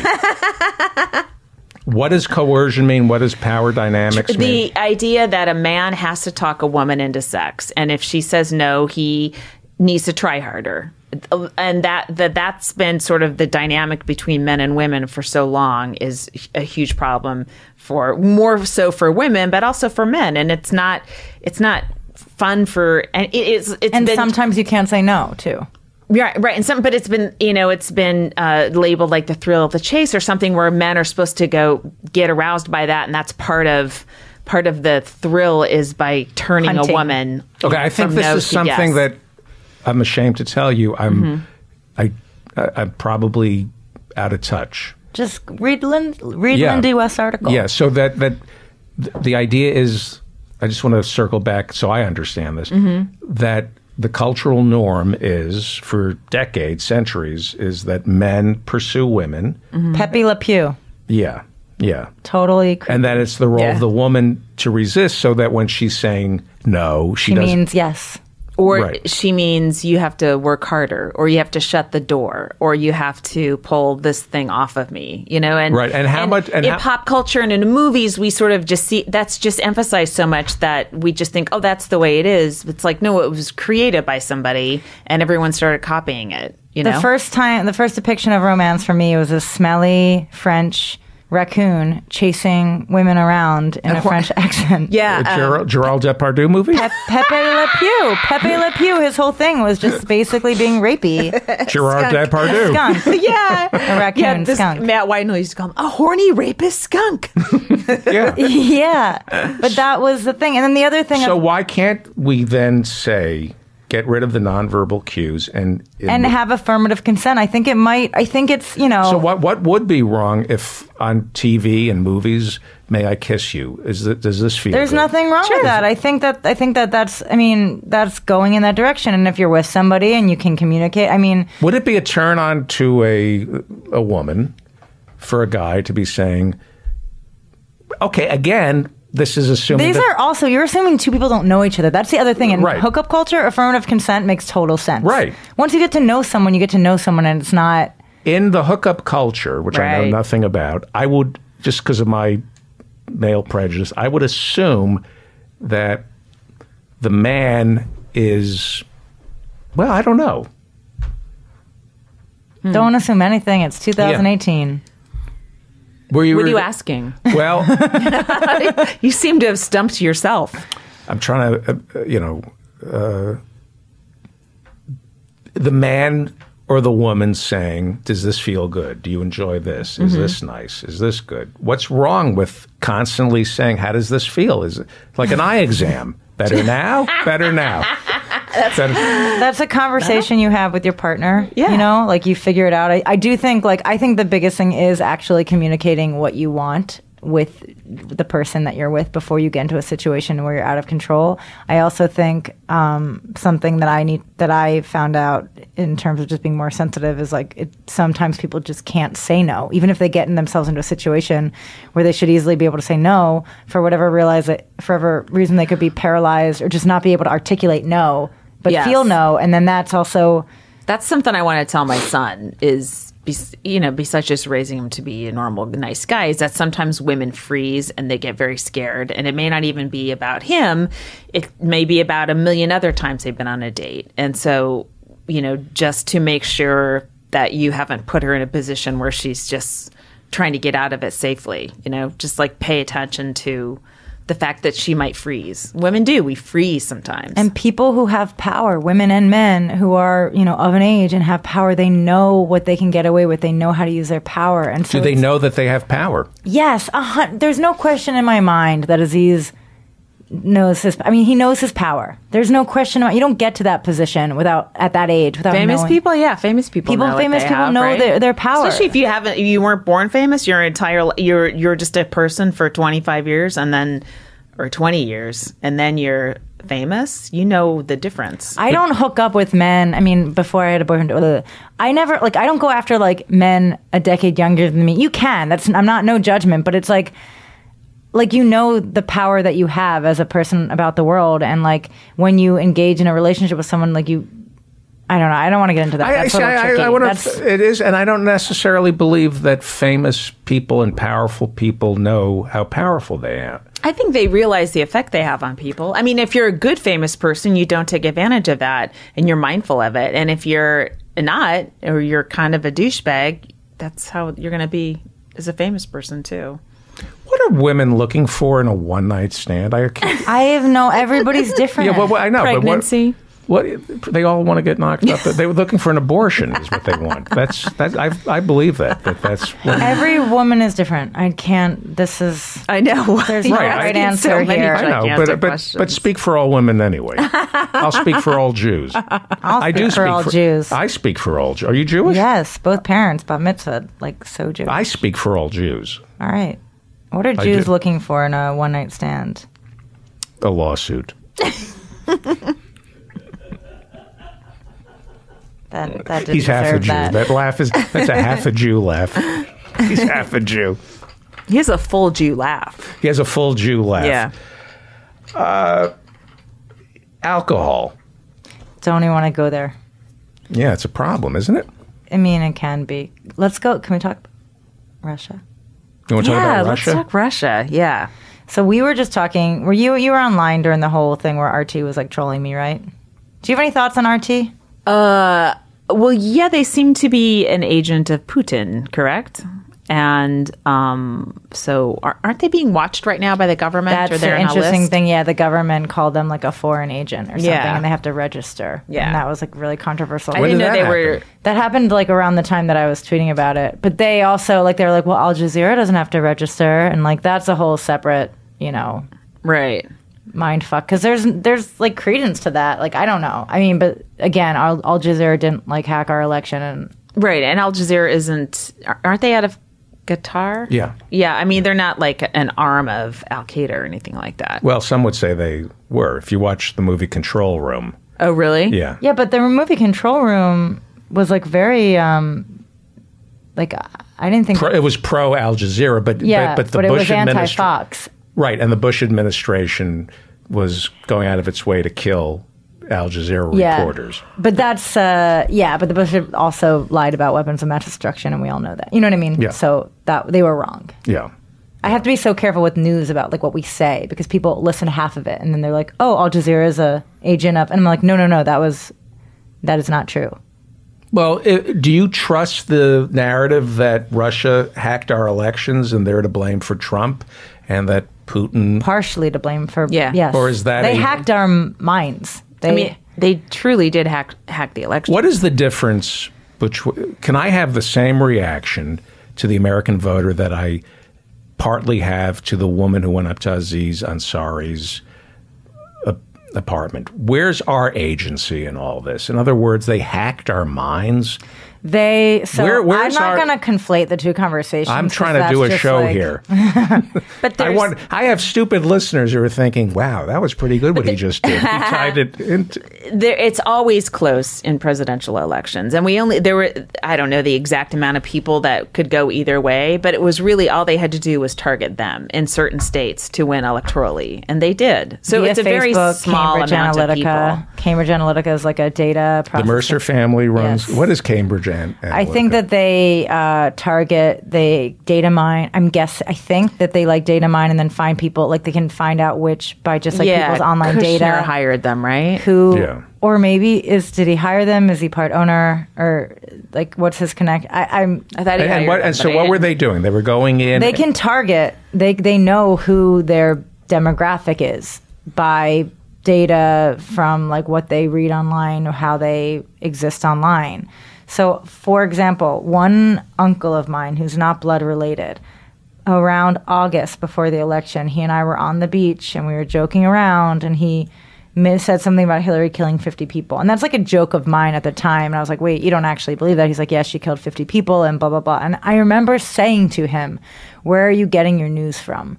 Because it was nothing I had seen, you know, like there's like fringe sites, but I was like, he was going on Facebook and getting every single day just bombarded with this fake with actual fake news. And he ended up voting for Trump. And I hmm. haven't actually talked to him since cuz I just it was like heartbreaking. But his daughter who I'm so close to said that he voted for Trump and because he didn't think Trump would ever win it was a protest vote and he's in a swing state he's in Pennsylvania A lot of Brexit votes were that way too. They didn't think it would pass, and it was a protest vote. and there could have been an article that was like here's why you should vote your conscience in this election or whatever you know like And, and do and we that's know? why you need someone at Facebook who w- that vote has consequences for and says, "Hey, look at this feed we're putting up and this guy's uh, f- on his Facebook account, and why are we doing that? And and if if this happens, look what's going to happen to people who look like me. Um, that's why you need a diversity in a workplace, you know, and and especially in tech, you know. Same with Twitter." They just don't seem to get And was- the consequences was of their actions. or the, you know what's worse it's not that they don't get it they don't necessarily care Or they don't care. Yeah, they don't care because they made a lot you- of money. You They're need to just like hire these people like that white guys who that don't care. even believe in government. Peter Thiel supported Trump early on. Right. They live in their own like vacuum of sil- or just like bubble of Silicon Valley where they don't need government. All of these guys, a lot of them like don't even care about government. Like who Right, does they've government got a- benefit when a- it's good? It benefits bunker. mothers and working poor and people of color and anybody who's not part of like the system or the patriarchy. So all of these guys like Paul Ryan's like, well, why do I need to pay taxes to support? Because people who live in a society should have empathy and want to not live among roving bands of poor people who can't survive. That's just human empathy that we assume people have that they don't. Mm-hmm. Yep. I agree. the Russian I love how you said I was calm earlier. By the way, Oh, you're, Thanks. you're calm. So the Russians took advantage of something. They found a hole in our news gathering. also Trump was the whole. This is like how they. but this is how they do that. They, he's every American bank has declared bankrupt. Like he declared bankruptcy. No American bank would give him any money. Deutsche Bank, who is connected to like Russian oligarchs, funneled money to him from at least like the like, like 2015 and even maybe even towards the, from the 80s on. I don't really know the details, but that's why he never releases tax returns. It it's so in plain sight. He has been bankrolled by Russia for so long. He always wanted to meet Putin. He did his Miss World or Miss whatever Yeah. there. And they have compromat on him and maybe on a lot of the Republicans because I my whole thing was never against Trump because he has no moral compass. He was pro-choice early on. He's probably paid for not all the abortions he's caused, but maybe a couple. And but for me, it was like Paul Ryan, Lindsey Graham, John McCain. How are all these guys falling by the wayside to this? Per- like, how are they so cool with this happening? And now I get it. You know, like you think the Russians have stuff on them? Well, even if they don't, ha- I I, do. think they do. But even if Yeah. they don't, Paul Ryan now is retiring because he's made so much money. Like, they're you know, the RNC was hacked, so they do have all the. They do have all their and, info. and you know, Trump didn't pay for at least three abortions that he should have paid for um, Ivana pregnancies. really. Do you know yeah, for a fact? Ivanka, Eric, and Don Jr. That's funny. How far do you think Mueller is willing to go? Because he's part of. Here's the thing that's scary about this, about the Mueller stuff. One is that, you know, again, all the information is literally in plain sight, but Trump's base is like brainwashed aliens like the movie They Live. But if if we find all the stuff that Mueller's investigating comes out and people don't care, that's the scariest thing that I feel like regardless of what happens, like we've seen what can happen when a critical mass of people, which is really just 20% of the country, or 50% don't vote, when they vote for a figurehead like this, like we're we're kind of screwed. Like, we we don't have to make them care. We only have to make the the you know the five or ten percent that goes either way uh, every election care. assuming that And he's our, our, his his uh, poll numbers are the lowest of any presidency. assuming that our election system doesn't get hacked, which is why we need to go I- back to paper ballots. Maybe. I mean, I, I, I think you're laying out a worst case scenario, but Always. you know, That's yeah, it's, you, somebody has to. But I mean, despite all this, Doug Well- Jones won in Alabama, you know, because they motivated black women to come out. They motivated the black vote to come out. So Black women motivated black women to come out. yes, hmm so that it can be done. That could be replicated all over the country. You know, Yeah. and And North Carolina just overturned the like I think gerrymandering. yeah, the stuff. Supreme, But the- Supreme Court yeah. stated, but Oh. but that's just temporary. You know, Right. and Trump is stacking the court. Sorry, I'm now just I know. where I am a walking. But they're all going to die of heart disease, That's a that's a good thing. including Trump. Interesting. Um, Yeah. I, I don't think it's as bad as people. I mean, he's deeply unpopular. I think we're lucky. This is, in a way, this is show. This has shown us the flaws in our democracy. That's what I said before and you got he here. Is a Just- really, he is yeah. so incompetent Yeah. that he, like, if he hadn't been Same tweeting, media bubble right here.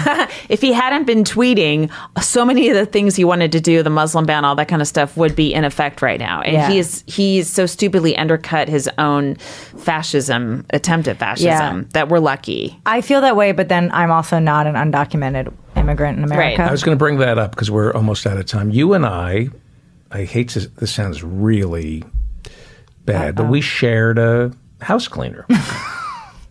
you and I. Oh, that's right. We don't mention the name. Yes, right, right, right. And I don't understand how anybody could have a house cleaner, see what they go through, what they've been, Mm-hmm. Right. what they've put up with Yes. from abusive husbands, and not want to solve this problem, not see it as the most important issue in their lives. Okay, I, I totally agree. Interesting point though. But did you like when I heard she got pregnant again? Yeah. I was like, come on. She was living in a car. She had an You- abusive husband. You already have She got pregnant from him again. No, a different guy.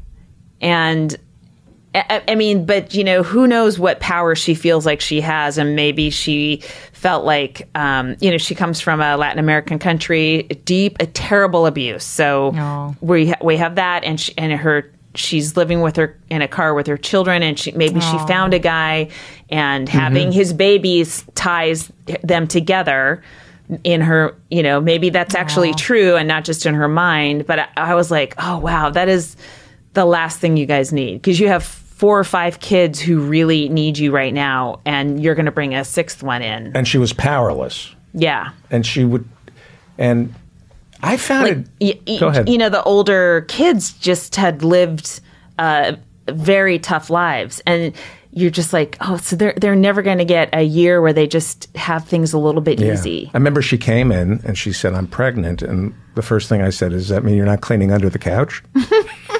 no, I'm sorry.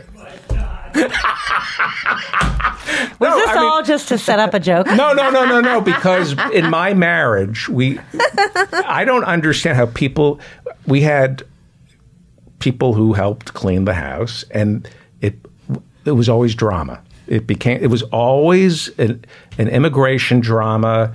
People were being separated from their kids, and you know, you have to be a monster not to get involved with these Yeah. people. Yeah, and not- yeah. I, I don't understand how.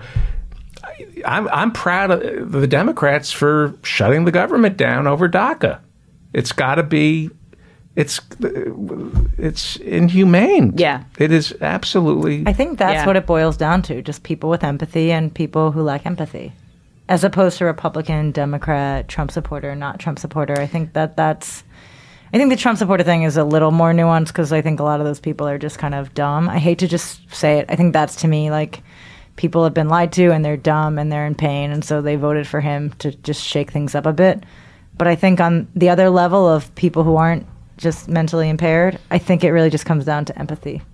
yeah, let's plug some. This was great. Thank you Thanks. for uh, doing this. How many listeners? Too. and one so you of have them a is, three guest to two listener ratio Good. well, we have two listeners. One of whom is deaf, but uh, Good. They listen. They listen in sign language. It's a very complicated. sure. Let's plug some gigs. This was just fantastic. You're local, right? Yeah. So you'll Also come back? LA. Yeah. Good.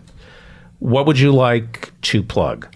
I have a special coming out on Adult Swim. oh cool It's not stand up, it's live action. wow Yeah. So what tell me what is it It's at the it's called Soft Focus. yeah And it's uh, there's like an investigative field piece and then an interview.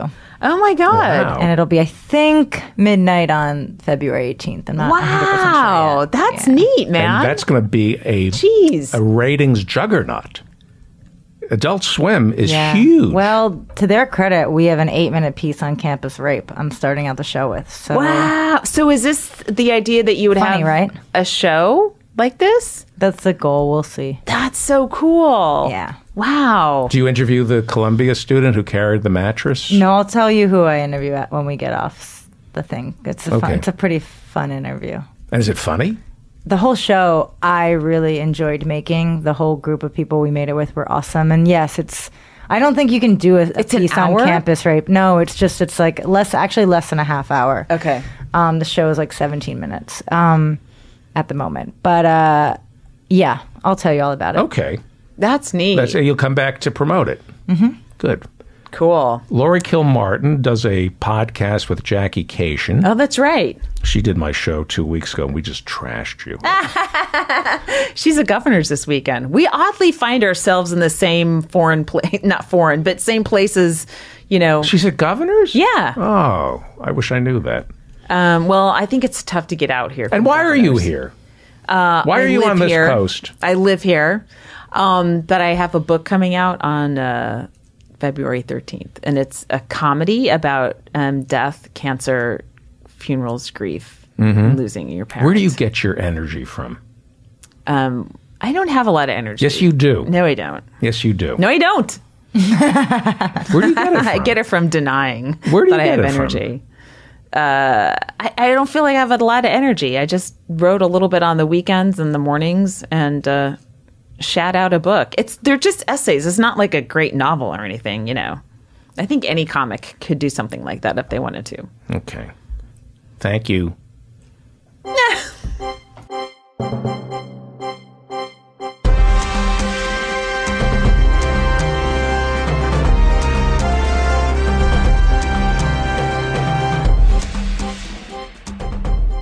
Are you ready? Yep, You sure you're ready? I'm ready. Because you have a, a head cold. Yes. All right.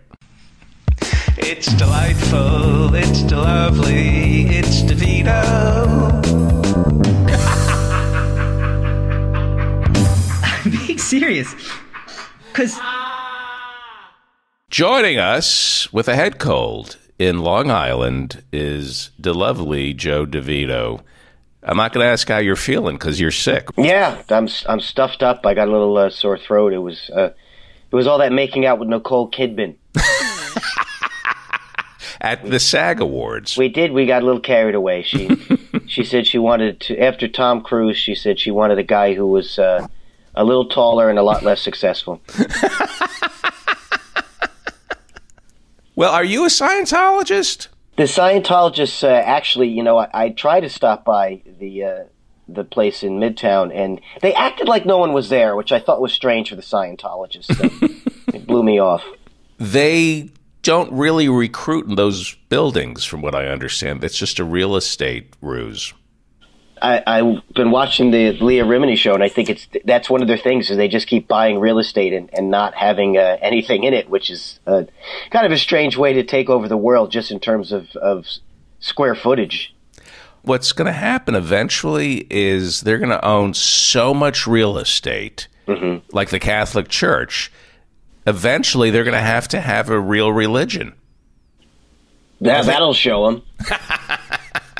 I think when Miscavige steps aside, Yeah.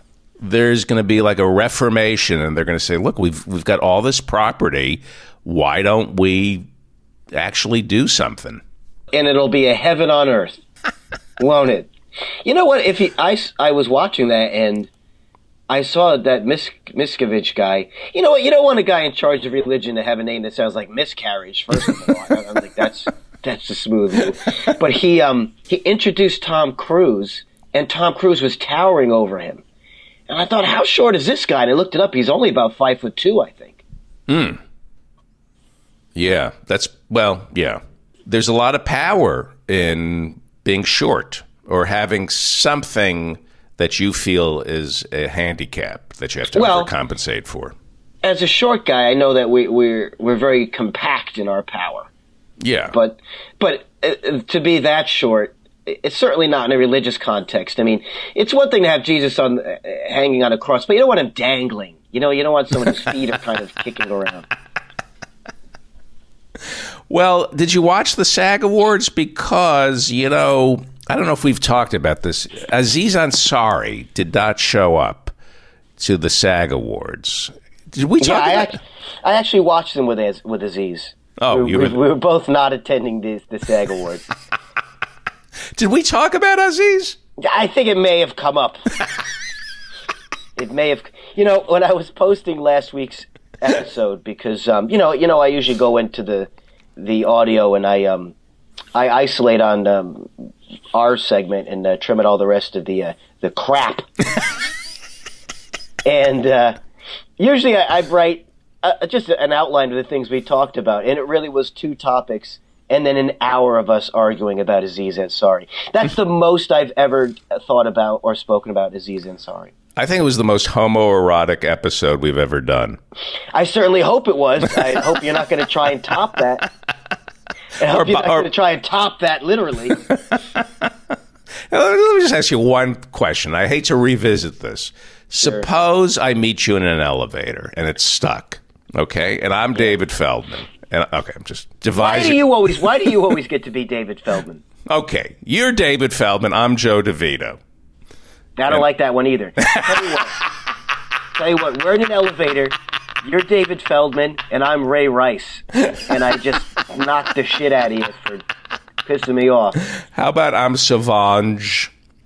Who, who was Beyonce's sister? Oh, Solange, so, Solange. Solazenge. Solange. Didn't she beat up Jay Z in an elevator? Yeah, yeah, she did. She was hitting him, and he took it like a bitch. Why, why don't we have a show where it's Solange and Ray Rice in an elevator? Uh, yeah, like a like we'll get some sort of octagon shaped elevator for them to fight in. Wouldn't that be great? that's actually a very good idea. It's like like a Jerry Springer type show, but you're in an elevator. There's no way to get away from, from Uh-huh. the action. Not bad. That would be pretty good. At first, I thought of that as just the two people and the judge in the elevator. But how you have an elevator of people just going to work and the people fighting in the elevator. Do you ever go up to Sirius, Sirius XM? no, I haven't. You've never done any shows on Sirius XM. I haven't. I've had a few invites, but nothing has, has panned out just yet. Okay. Their elevator is a woman. They have like a voice of a woman. You know, this is corporate America, so they can't be doing it on purpose. But she says when you get in the elevator, going up, going up, going up. And then when you leave, and it's in the McGraw Hill building, mm. Going down, going down. It's so depressing. Going down, going down. Hey, the the uh, Philadelphia Eagles are going to the Super Bowl, Yeah. and Bill Cosby is a Philadelphia Eagles fan, and he's wearing the Eagles cap. He's a big supporter of of the Eagles. Is that going to Yeah. Taint your your your rootingdom, your your your fandom?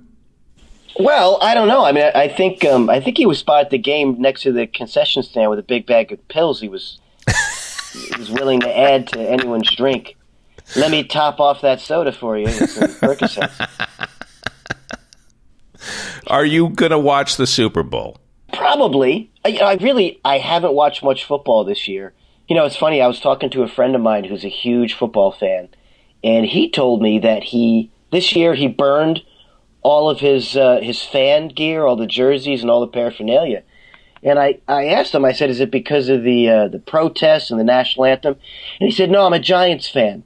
What does that mean? I don't follow They're, sports. they're just they were just god awful this year." So he wasn't taking a stand on anything other than the team being shitty. I see. Well, a lot of people uh, don't like the Patriots because they tell you they're pretty amazing. You know, and I, I, wa- I watched that game, and that was a good game. And and Jacksonville won almost all of it except for the part where you have more points at the end. it was it was that close. But I can see why people hate Tom Brady, right? Not only does he win that these close games, but while we're complaining, he's home naked except for his UGG boots, getting Wh- blown by his supermodel wife. Some people get it all, don't they? Yeah, he really does. And while that's happening, there's a referee in the background ignoring a holding penalty. Like he's just he's just got a charmed life. No deflate gate in that bedroom. No, not at all. Yeah. Yeah. Do people have charmed lives? My mother always says, don't be jealous. You never know what's really happening behind closed doors. Don't be jealous of other people. Yeah, well, you know, I, I think that's a good approach to always wish hidden misery on someone to make you feel better. Does it bother you if somebody is perceived to have it all? Or do we need people to have it all for aspirational purposes? I don't feel bad when people are successful, and I think it's not so much because I'm a uh, I'm a live and let live kind of guy. I think it's just because I'm so self-absorbed that I'm so focused on my own failings that I don't even have time to realize that other people are doing well. I'm so self absorbed, my nickname in high school was Tampon. That, that's not why they, they nicknamed you that, David. Oh, okay. Growing up, there was a family of doctors on our street. Everybody was a doctor.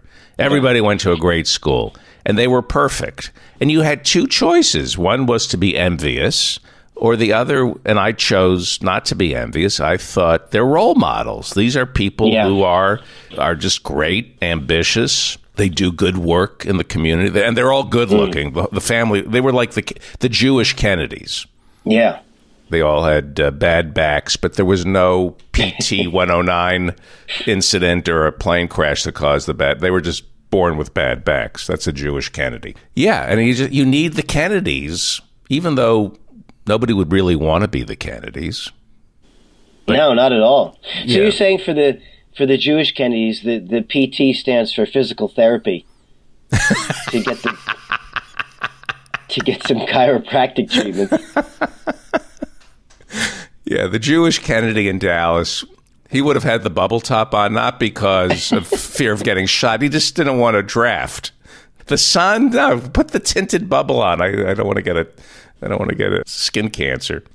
Being jealous of certain people. I mean, there's certain people who just seem to have, like Seinfeld has it all.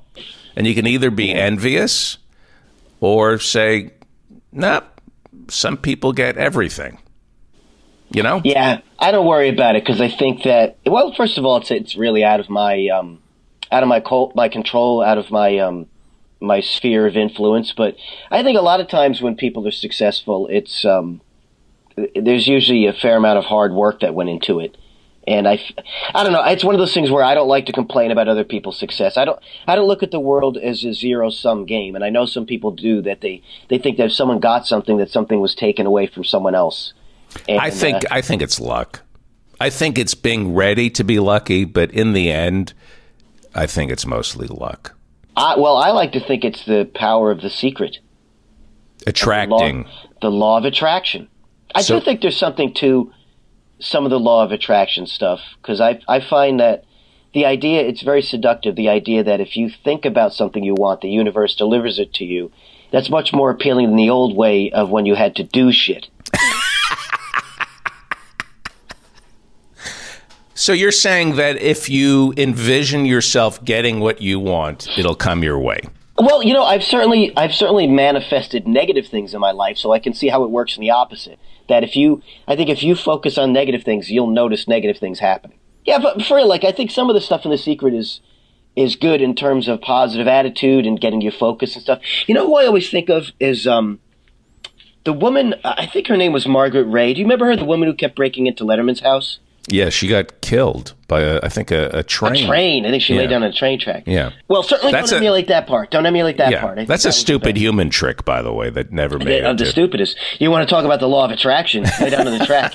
You're almost definitely attract a train. But I, I look at the way crazy people use the law of attraction because you know there had to be someone on Letterman's payroll whose main job was just keep this lady out of Dave's house, but she kept getting back in because it was all she focused on. So I think that shows that. Um, I guess what I'm saying is that uh, dreams do come true. And all Dave had to do to get her to stop stalking him was to spend some time with her. In the end, if she found out what a creep most comics are, she would. Oh my God, he's you're not the same as what I thought you were. Goodbye. Where are you going? she- Where you going? she would have left of her own volition. Can you Yeah. imagine? Wow, what a, what an ending that story would be. That if Letterman had finally said, "All right," and then uh, later you heard her say, "You know, he he offered me uh, white wine when I preferred red." I built up a powerful thirst, scaling to the second floor window of his home to break in to the bathroom. What kind of cues, nonverbal cues, should stalkers pick up on when they're breaking into the homes of celebrities? Joe DeVito. Um, I would say that the dog's barking has always tipped me off. That's a good nonverbal cue. Yeah.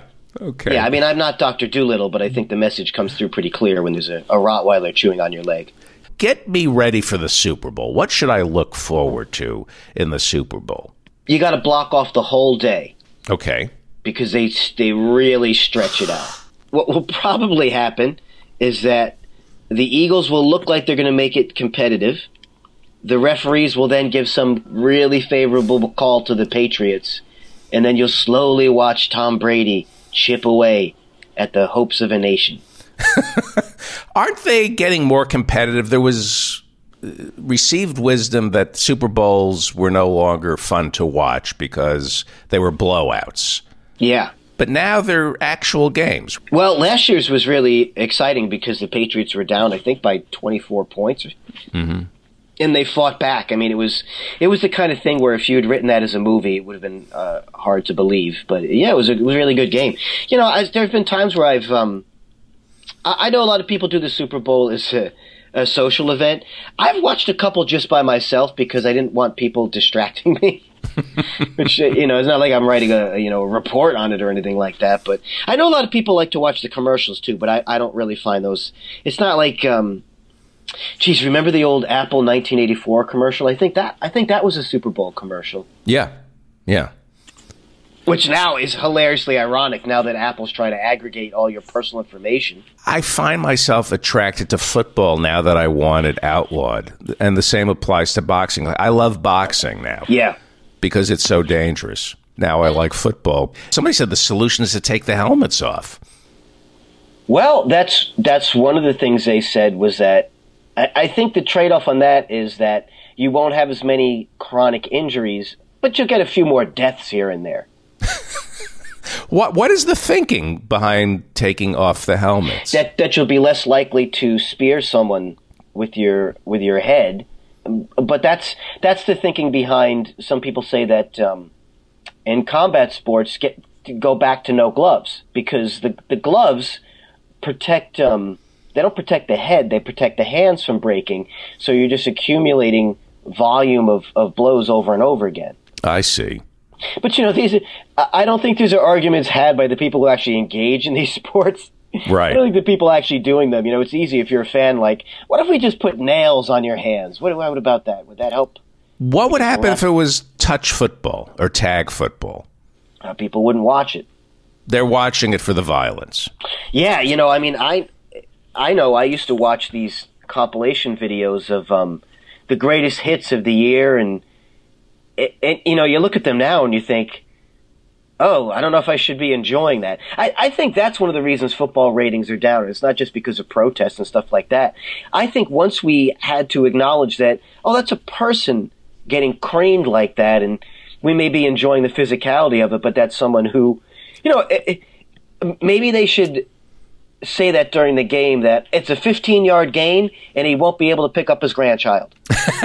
you know, if they said that during the game, you'd have some context that touchdown and he's peeing in a bag at age 50. And you think, ah, I, I don't know if I can really enjoy that as much. Are the Eagles like the old Oakland Raiders? Are they the bad boy team? No, it's very different. I think the Patriots are a bit more of a bad boy team just because they win and they have a little bit of a reputation for cheating because of the you know the deflated footballs and uh, they they did a little bit of um, videotaping and they always seem to have some sort of angle. I think a lot of it is just that Bill Belichick is.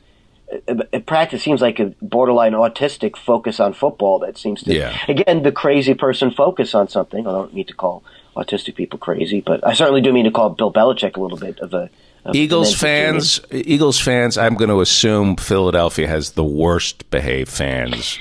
They they had a bad reputation. Of course, the famous story is that they attacked a Santa Claus that was um, that was in their stadium.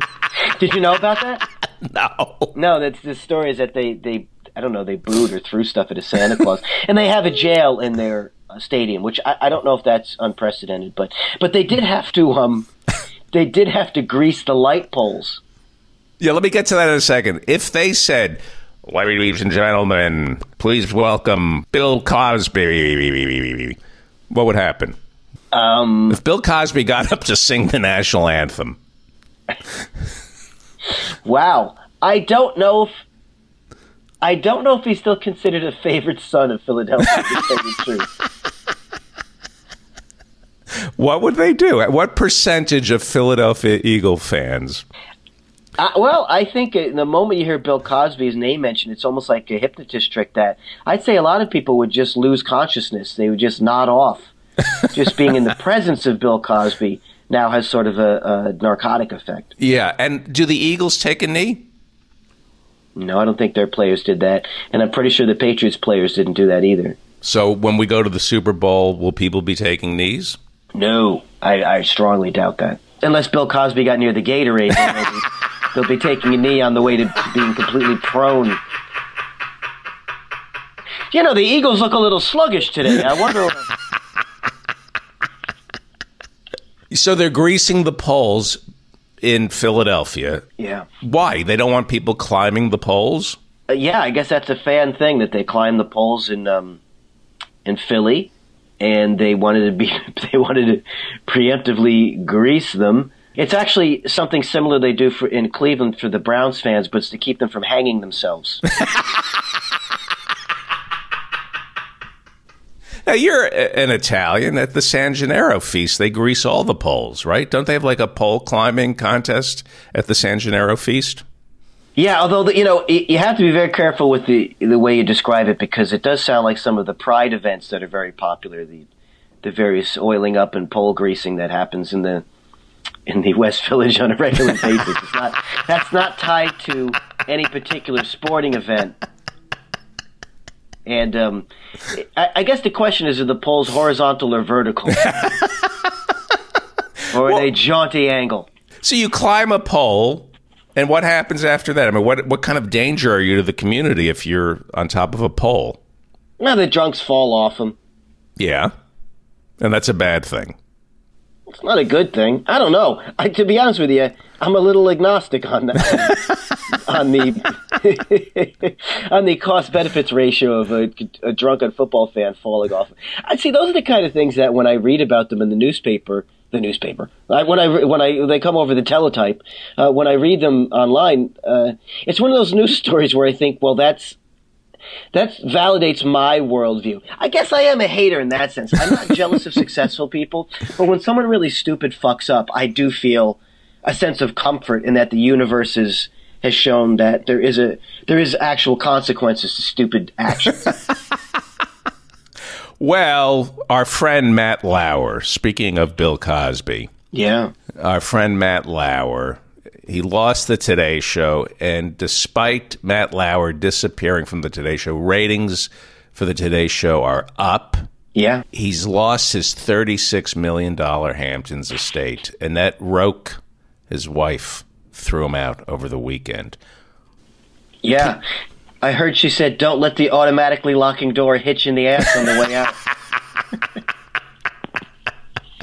They also own a 40 acre horse farm and watermill and a 25 acre estate in Sag Harbor and a New York City apartment. Wow. People Yeah. have people have things. Well, he's he's got a uh, look at all the places he has where he can expose himself. he can whip his penis out in a variety of locales. You know, now again to go back to this this thing of people who are successful and all that. I get uncomfortable thinking about having that many homes because again, I like to keep my my sphere very very very small, very much. I like when I hear people talk about how they have 15 beautiful homes. My first reaction is, well, then where do you keep the toothbrush you like? Because I ha- would have a preferred toothbrush. Well, I've worked this fantasy out. Uh, oh, David, I've heard you work out your fantasies, and we're not going through that again. I've had I, there's one home for Joe DeVito to come. No, I think what happens is when you're that successful, you buy these homes and you live in them, but they belong to the caretakers, not you. In your mind, you're just Yeah. visiting these homes. Huh. It'll be like a hotel that I own, but I don't run it. Yeah, that's that's actually that's a pretty good take on that because then your life sort of becomes a permanent vacation. Yeah.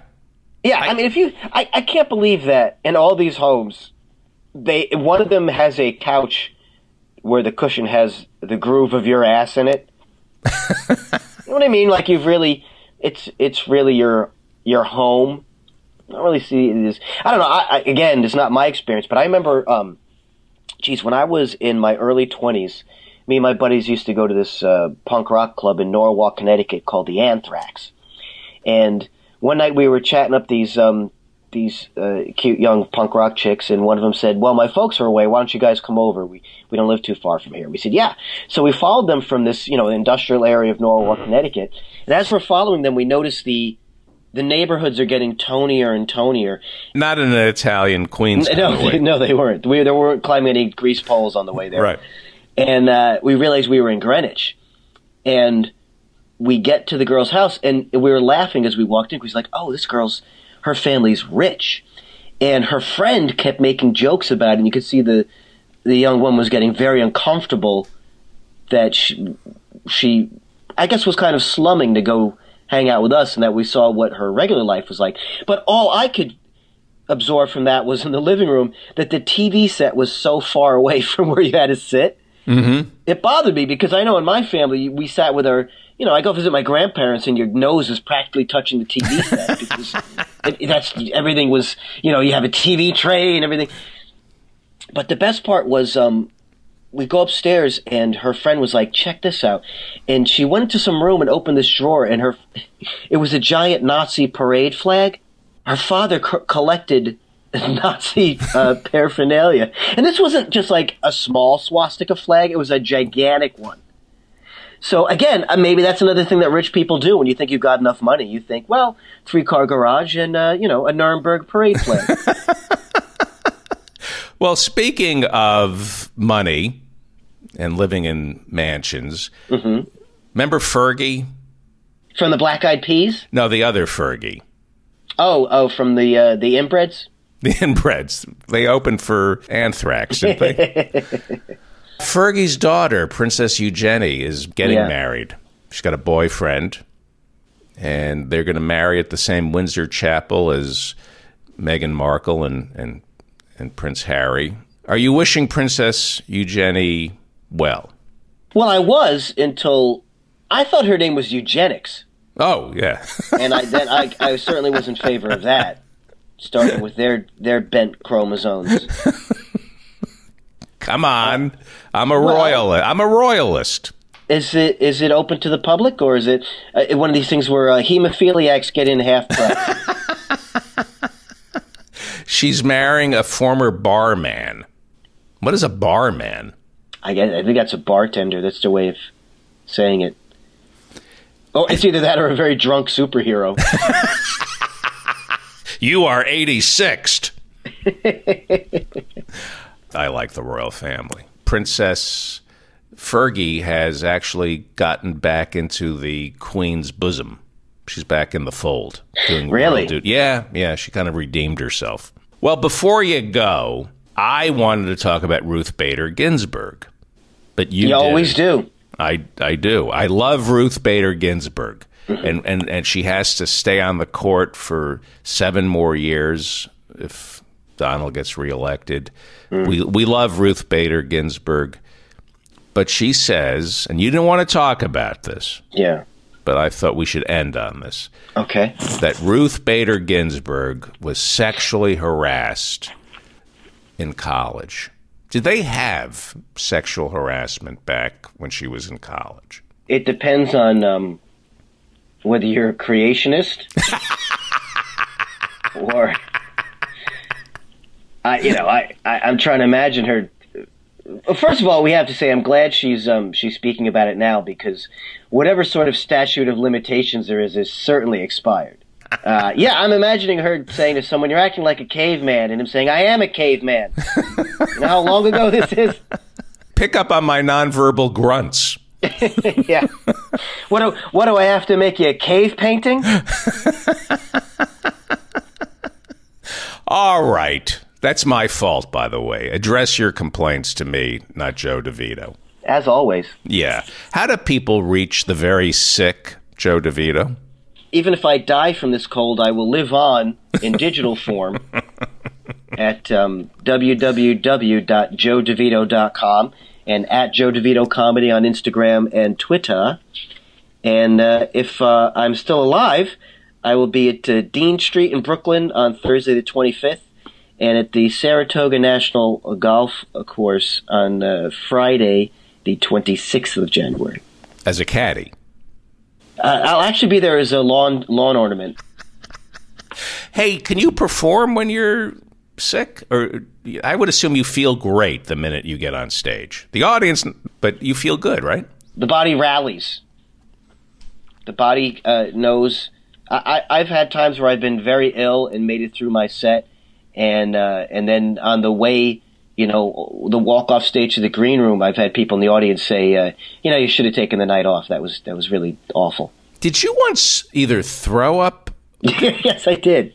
like into what in, into a bucket in the middle of the set? Yeah, I was at the the Borgata in Atlantic City, and at dinner that night when I was taking my vitamins, um, one of them tore a hole in my esophagus, and uh, I kept regurgitating, and it, it didn't stop before the show. So when I got down there, I said to them, "Look, I'm very ill and I have to throw up every couple of minutes." And they said, "You still?" They looked at me like, "Are you crazy?" And I said, "Yeah, just have a bucket on the side." And I, I only had to do 20 minutes, but every time I told a joke, I would pause and say, "All right, I'm not throwing up." And then I got to the point where I had to say to the audience, "Look, I'm actually very sick and I, I, I have to throw up." And and they thought it was a joke. And then I walked off stage and I puked into a bucket, and then I walked back out, and no one really knew what was going on except for there was one woman way over to stage right who could see into the wings. Mm-hmm. And when I came out on stage, she was look. She had this horrified look on her face. You're one comedian whose gag reflexes are always working. Wow. Yeah. Well, a lot of those gags I got from Morey Amsterdam. So they, they've withstood the test of time. Stay on the line for one second, Joe DeVito.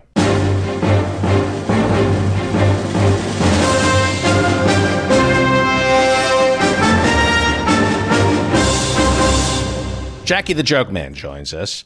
He will be at Uncle Vinny's Comedy Club Friday and Saturday, February 9th through the 10th. That's Uncle Vinny's Comedy Club in Point Pleasant Beach, New Jersey. Call 732 899 3900 to make a reservation or go to UncleVinny'sComedyClub.com. Go see Jackie the Joke Man Martling. 9:30 Friday and Saturday, February 9th and 10th at Uncle Vinny's Comedy Club, 518 Arnold Avenue, Point Pleasant Beach, New Jersey. For more information, go to Uncle Vinny's Comedy Club. Hello, Jackie the Joke Man. Why, that's me. Bow to Stern. Your autobiography. We're- yes, we're- I, but I still have an erection from listening to my plug. the Joke Man Bow to Stern is selling. I just found out that my audio version of it is selling through the roof, which is just exciting as hell. Too bad none of your listeners have roofs to have the sales go through. That is the furthest I ever heard somebody go for a joke that poor. I know, really bad. Hey, there's a joke that John Ross told. You know, Milton Berle's dick was so big that when he was in his limo and he wanted to jerk off, he was lucky he had a moonroof.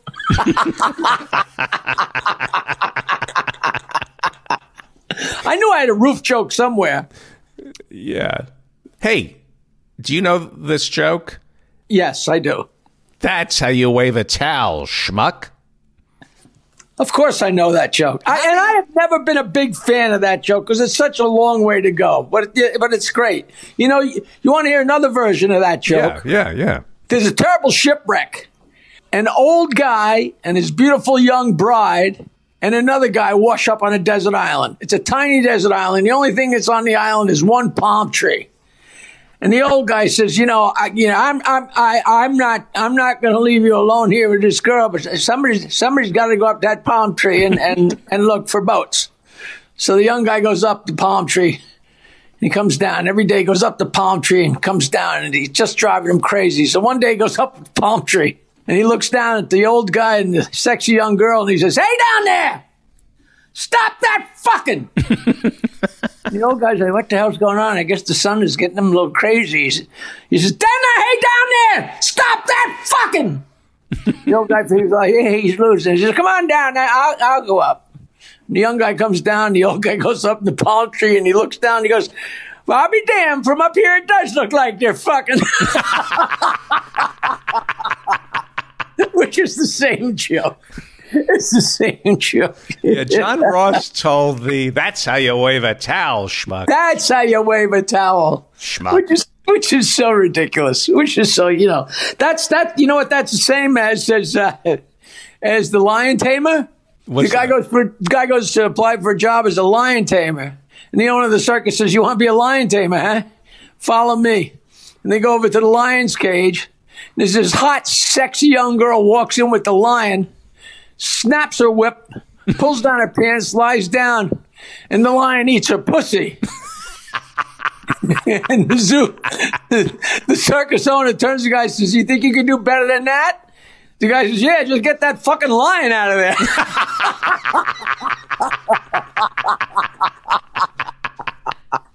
it's all the same joke.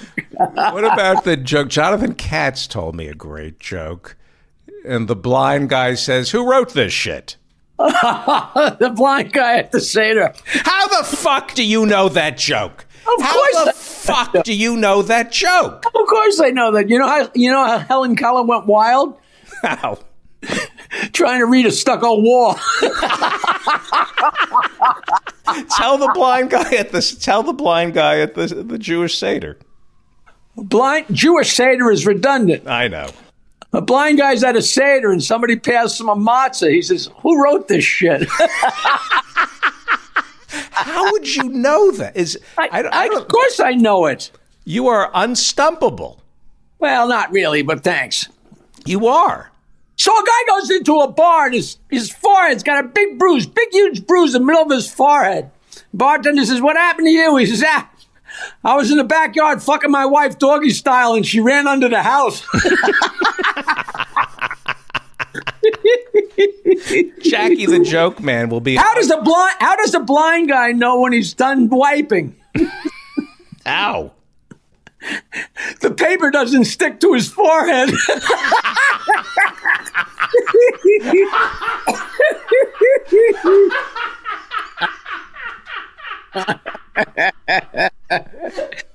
Wow. So a Jewish guy gets in a cab and they're going up 8th Avenue and they look over and on the sidewalk, a guy smacks a woman over the head, throws her down and starts kicking her. The cab, he zooms to the side of the road, jumps out of the cab and goes running over to help the woman. The Jewish guy rolls down the window and he says, Stop it! Stop it! Stop the meter!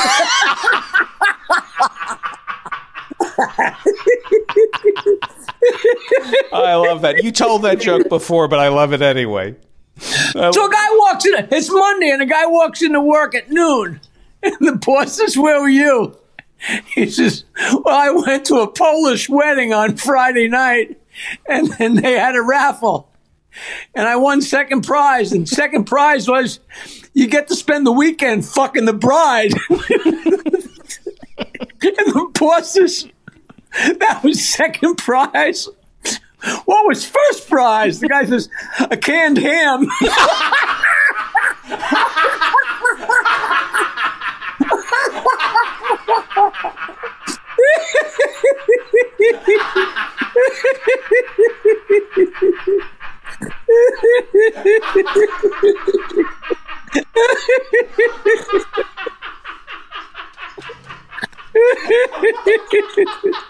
That's a beauty. That's a beauty. You probably noticed uh, a, a, a spaceship spaceship lands in Miami Beach, and an alien gets out, and the alien's wearing a big pearl necklace. And he's got rings on every finger. And an old lady says to the alien, "Do all of you aliens dress like that?" He says, "Nah, just us Jews."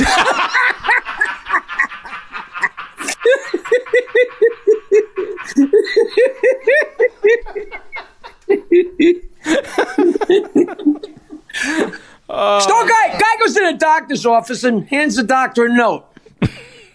And he says, Doc, I have totally lost the ability to speak. Doctor says, All right, my friend, pull down your pants and bend over my table. The guy pulls down his pants and bends over the table. The doctor gets a broomstick and sticks up the guy's ass. And the guy goes, Ah!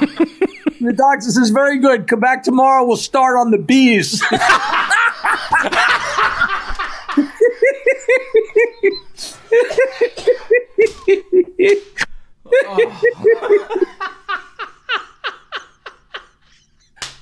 That You know the definition of a nice Greek boy? what? That's the guy who takes a girl on two dates before he fucks her brother.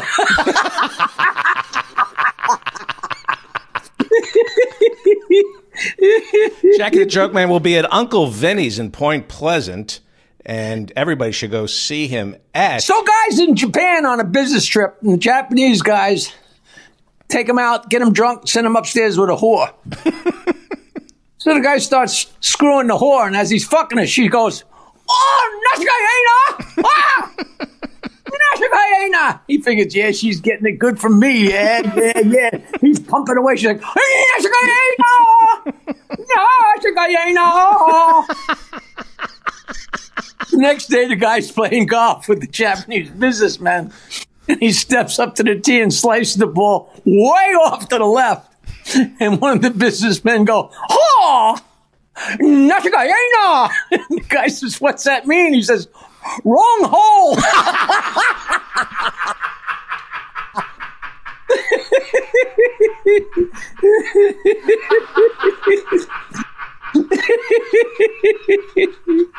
Oh my god, you're like wasabi. A guy says to his friend, I can't stand it anymore. I've been married 15 years. Every night, the same hole, the same hole. I come home, it's the same hole.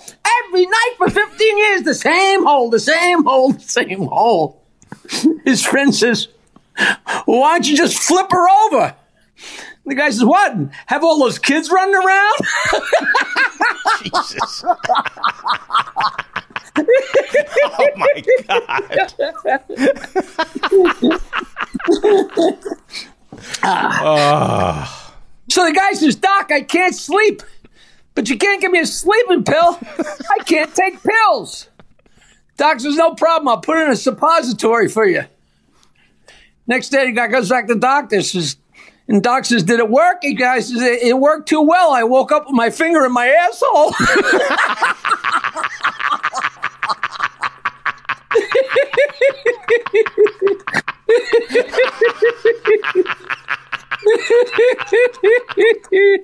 Oh my God. Jackie the Joke Man will be at Uncle Vinny's Comedy Club in Point Pleasant, New Jersey, Friday and Saturday, February 9th and 10th at 9 what would you call what would you call a Jewish tampon?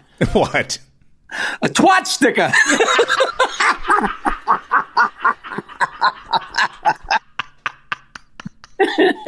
Uh, How do you say brazier in German? How? Stopping them from flopping.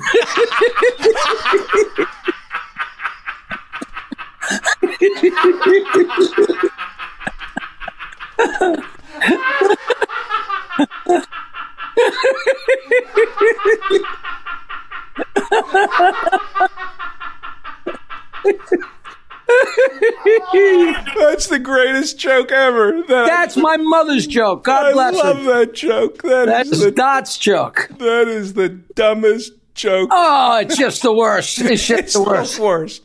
Uh, how do you pronounce it? Stopping them from flopping. do you know how you say constipated in German? No.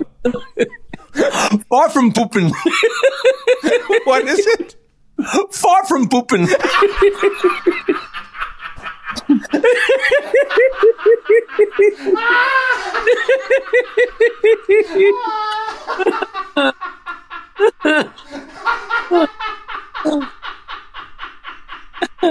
How's it pronounced?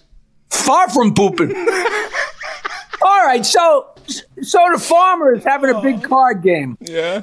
Farmer's having a card game. He's got a couple of neighbors over. He's got the local doctor and he's got the local priest. And they're playing cards. They're trying to play poker.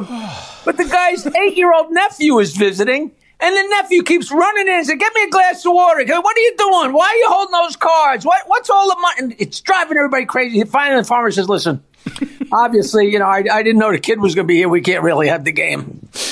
The priest says, Wait a minute.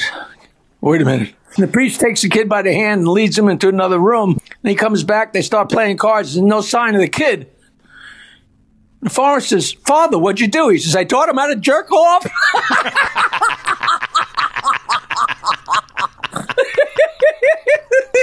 Oh, this is the best one. This was your best one. Jackie the Joke Man, if you don't subscribe to Jackie the Joke Man's daily 420 feed on Twitter, you are missing out. Go to Twitter, and what is your handle on Twitter?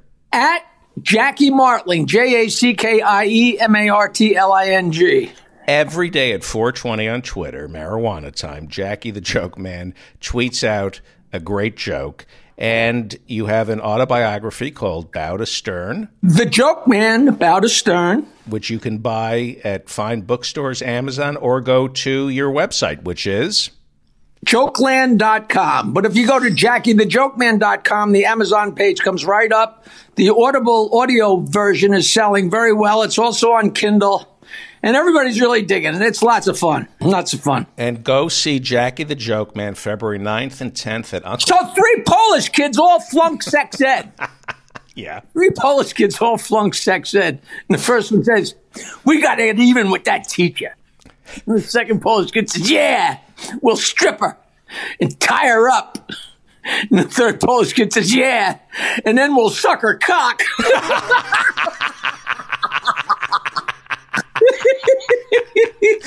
The Polish kid wasn't paying attention during He wasn't ed. paying any attention. He didn't know that women didn't have cocks. Well, All right, here's I will we'll end with this one that I know you know, but everybody knows, but so good. Guy goes to the pet store. He says, "Listen, my dog ran away. Another need, I need another dog." The pet store owner says, "Listen, it's 2018. You won't you don't want a dog. They're big. You got to deal with the food. It- It's just a you you know what you want?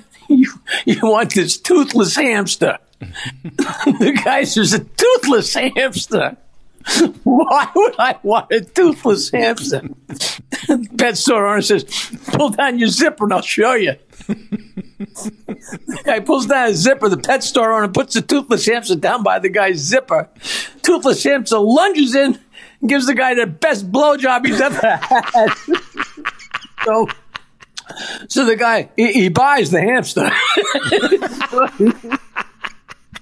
He gets home and he walks in the kitchen and sets it loose on the floor. And his wife sees it and says, Wah! She jumps up on a chair. She says, What's that? He says, Never mind what it is. Teach it how to cook and get the fuck out.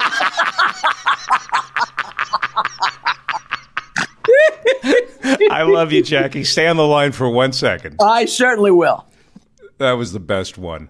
That was the best one.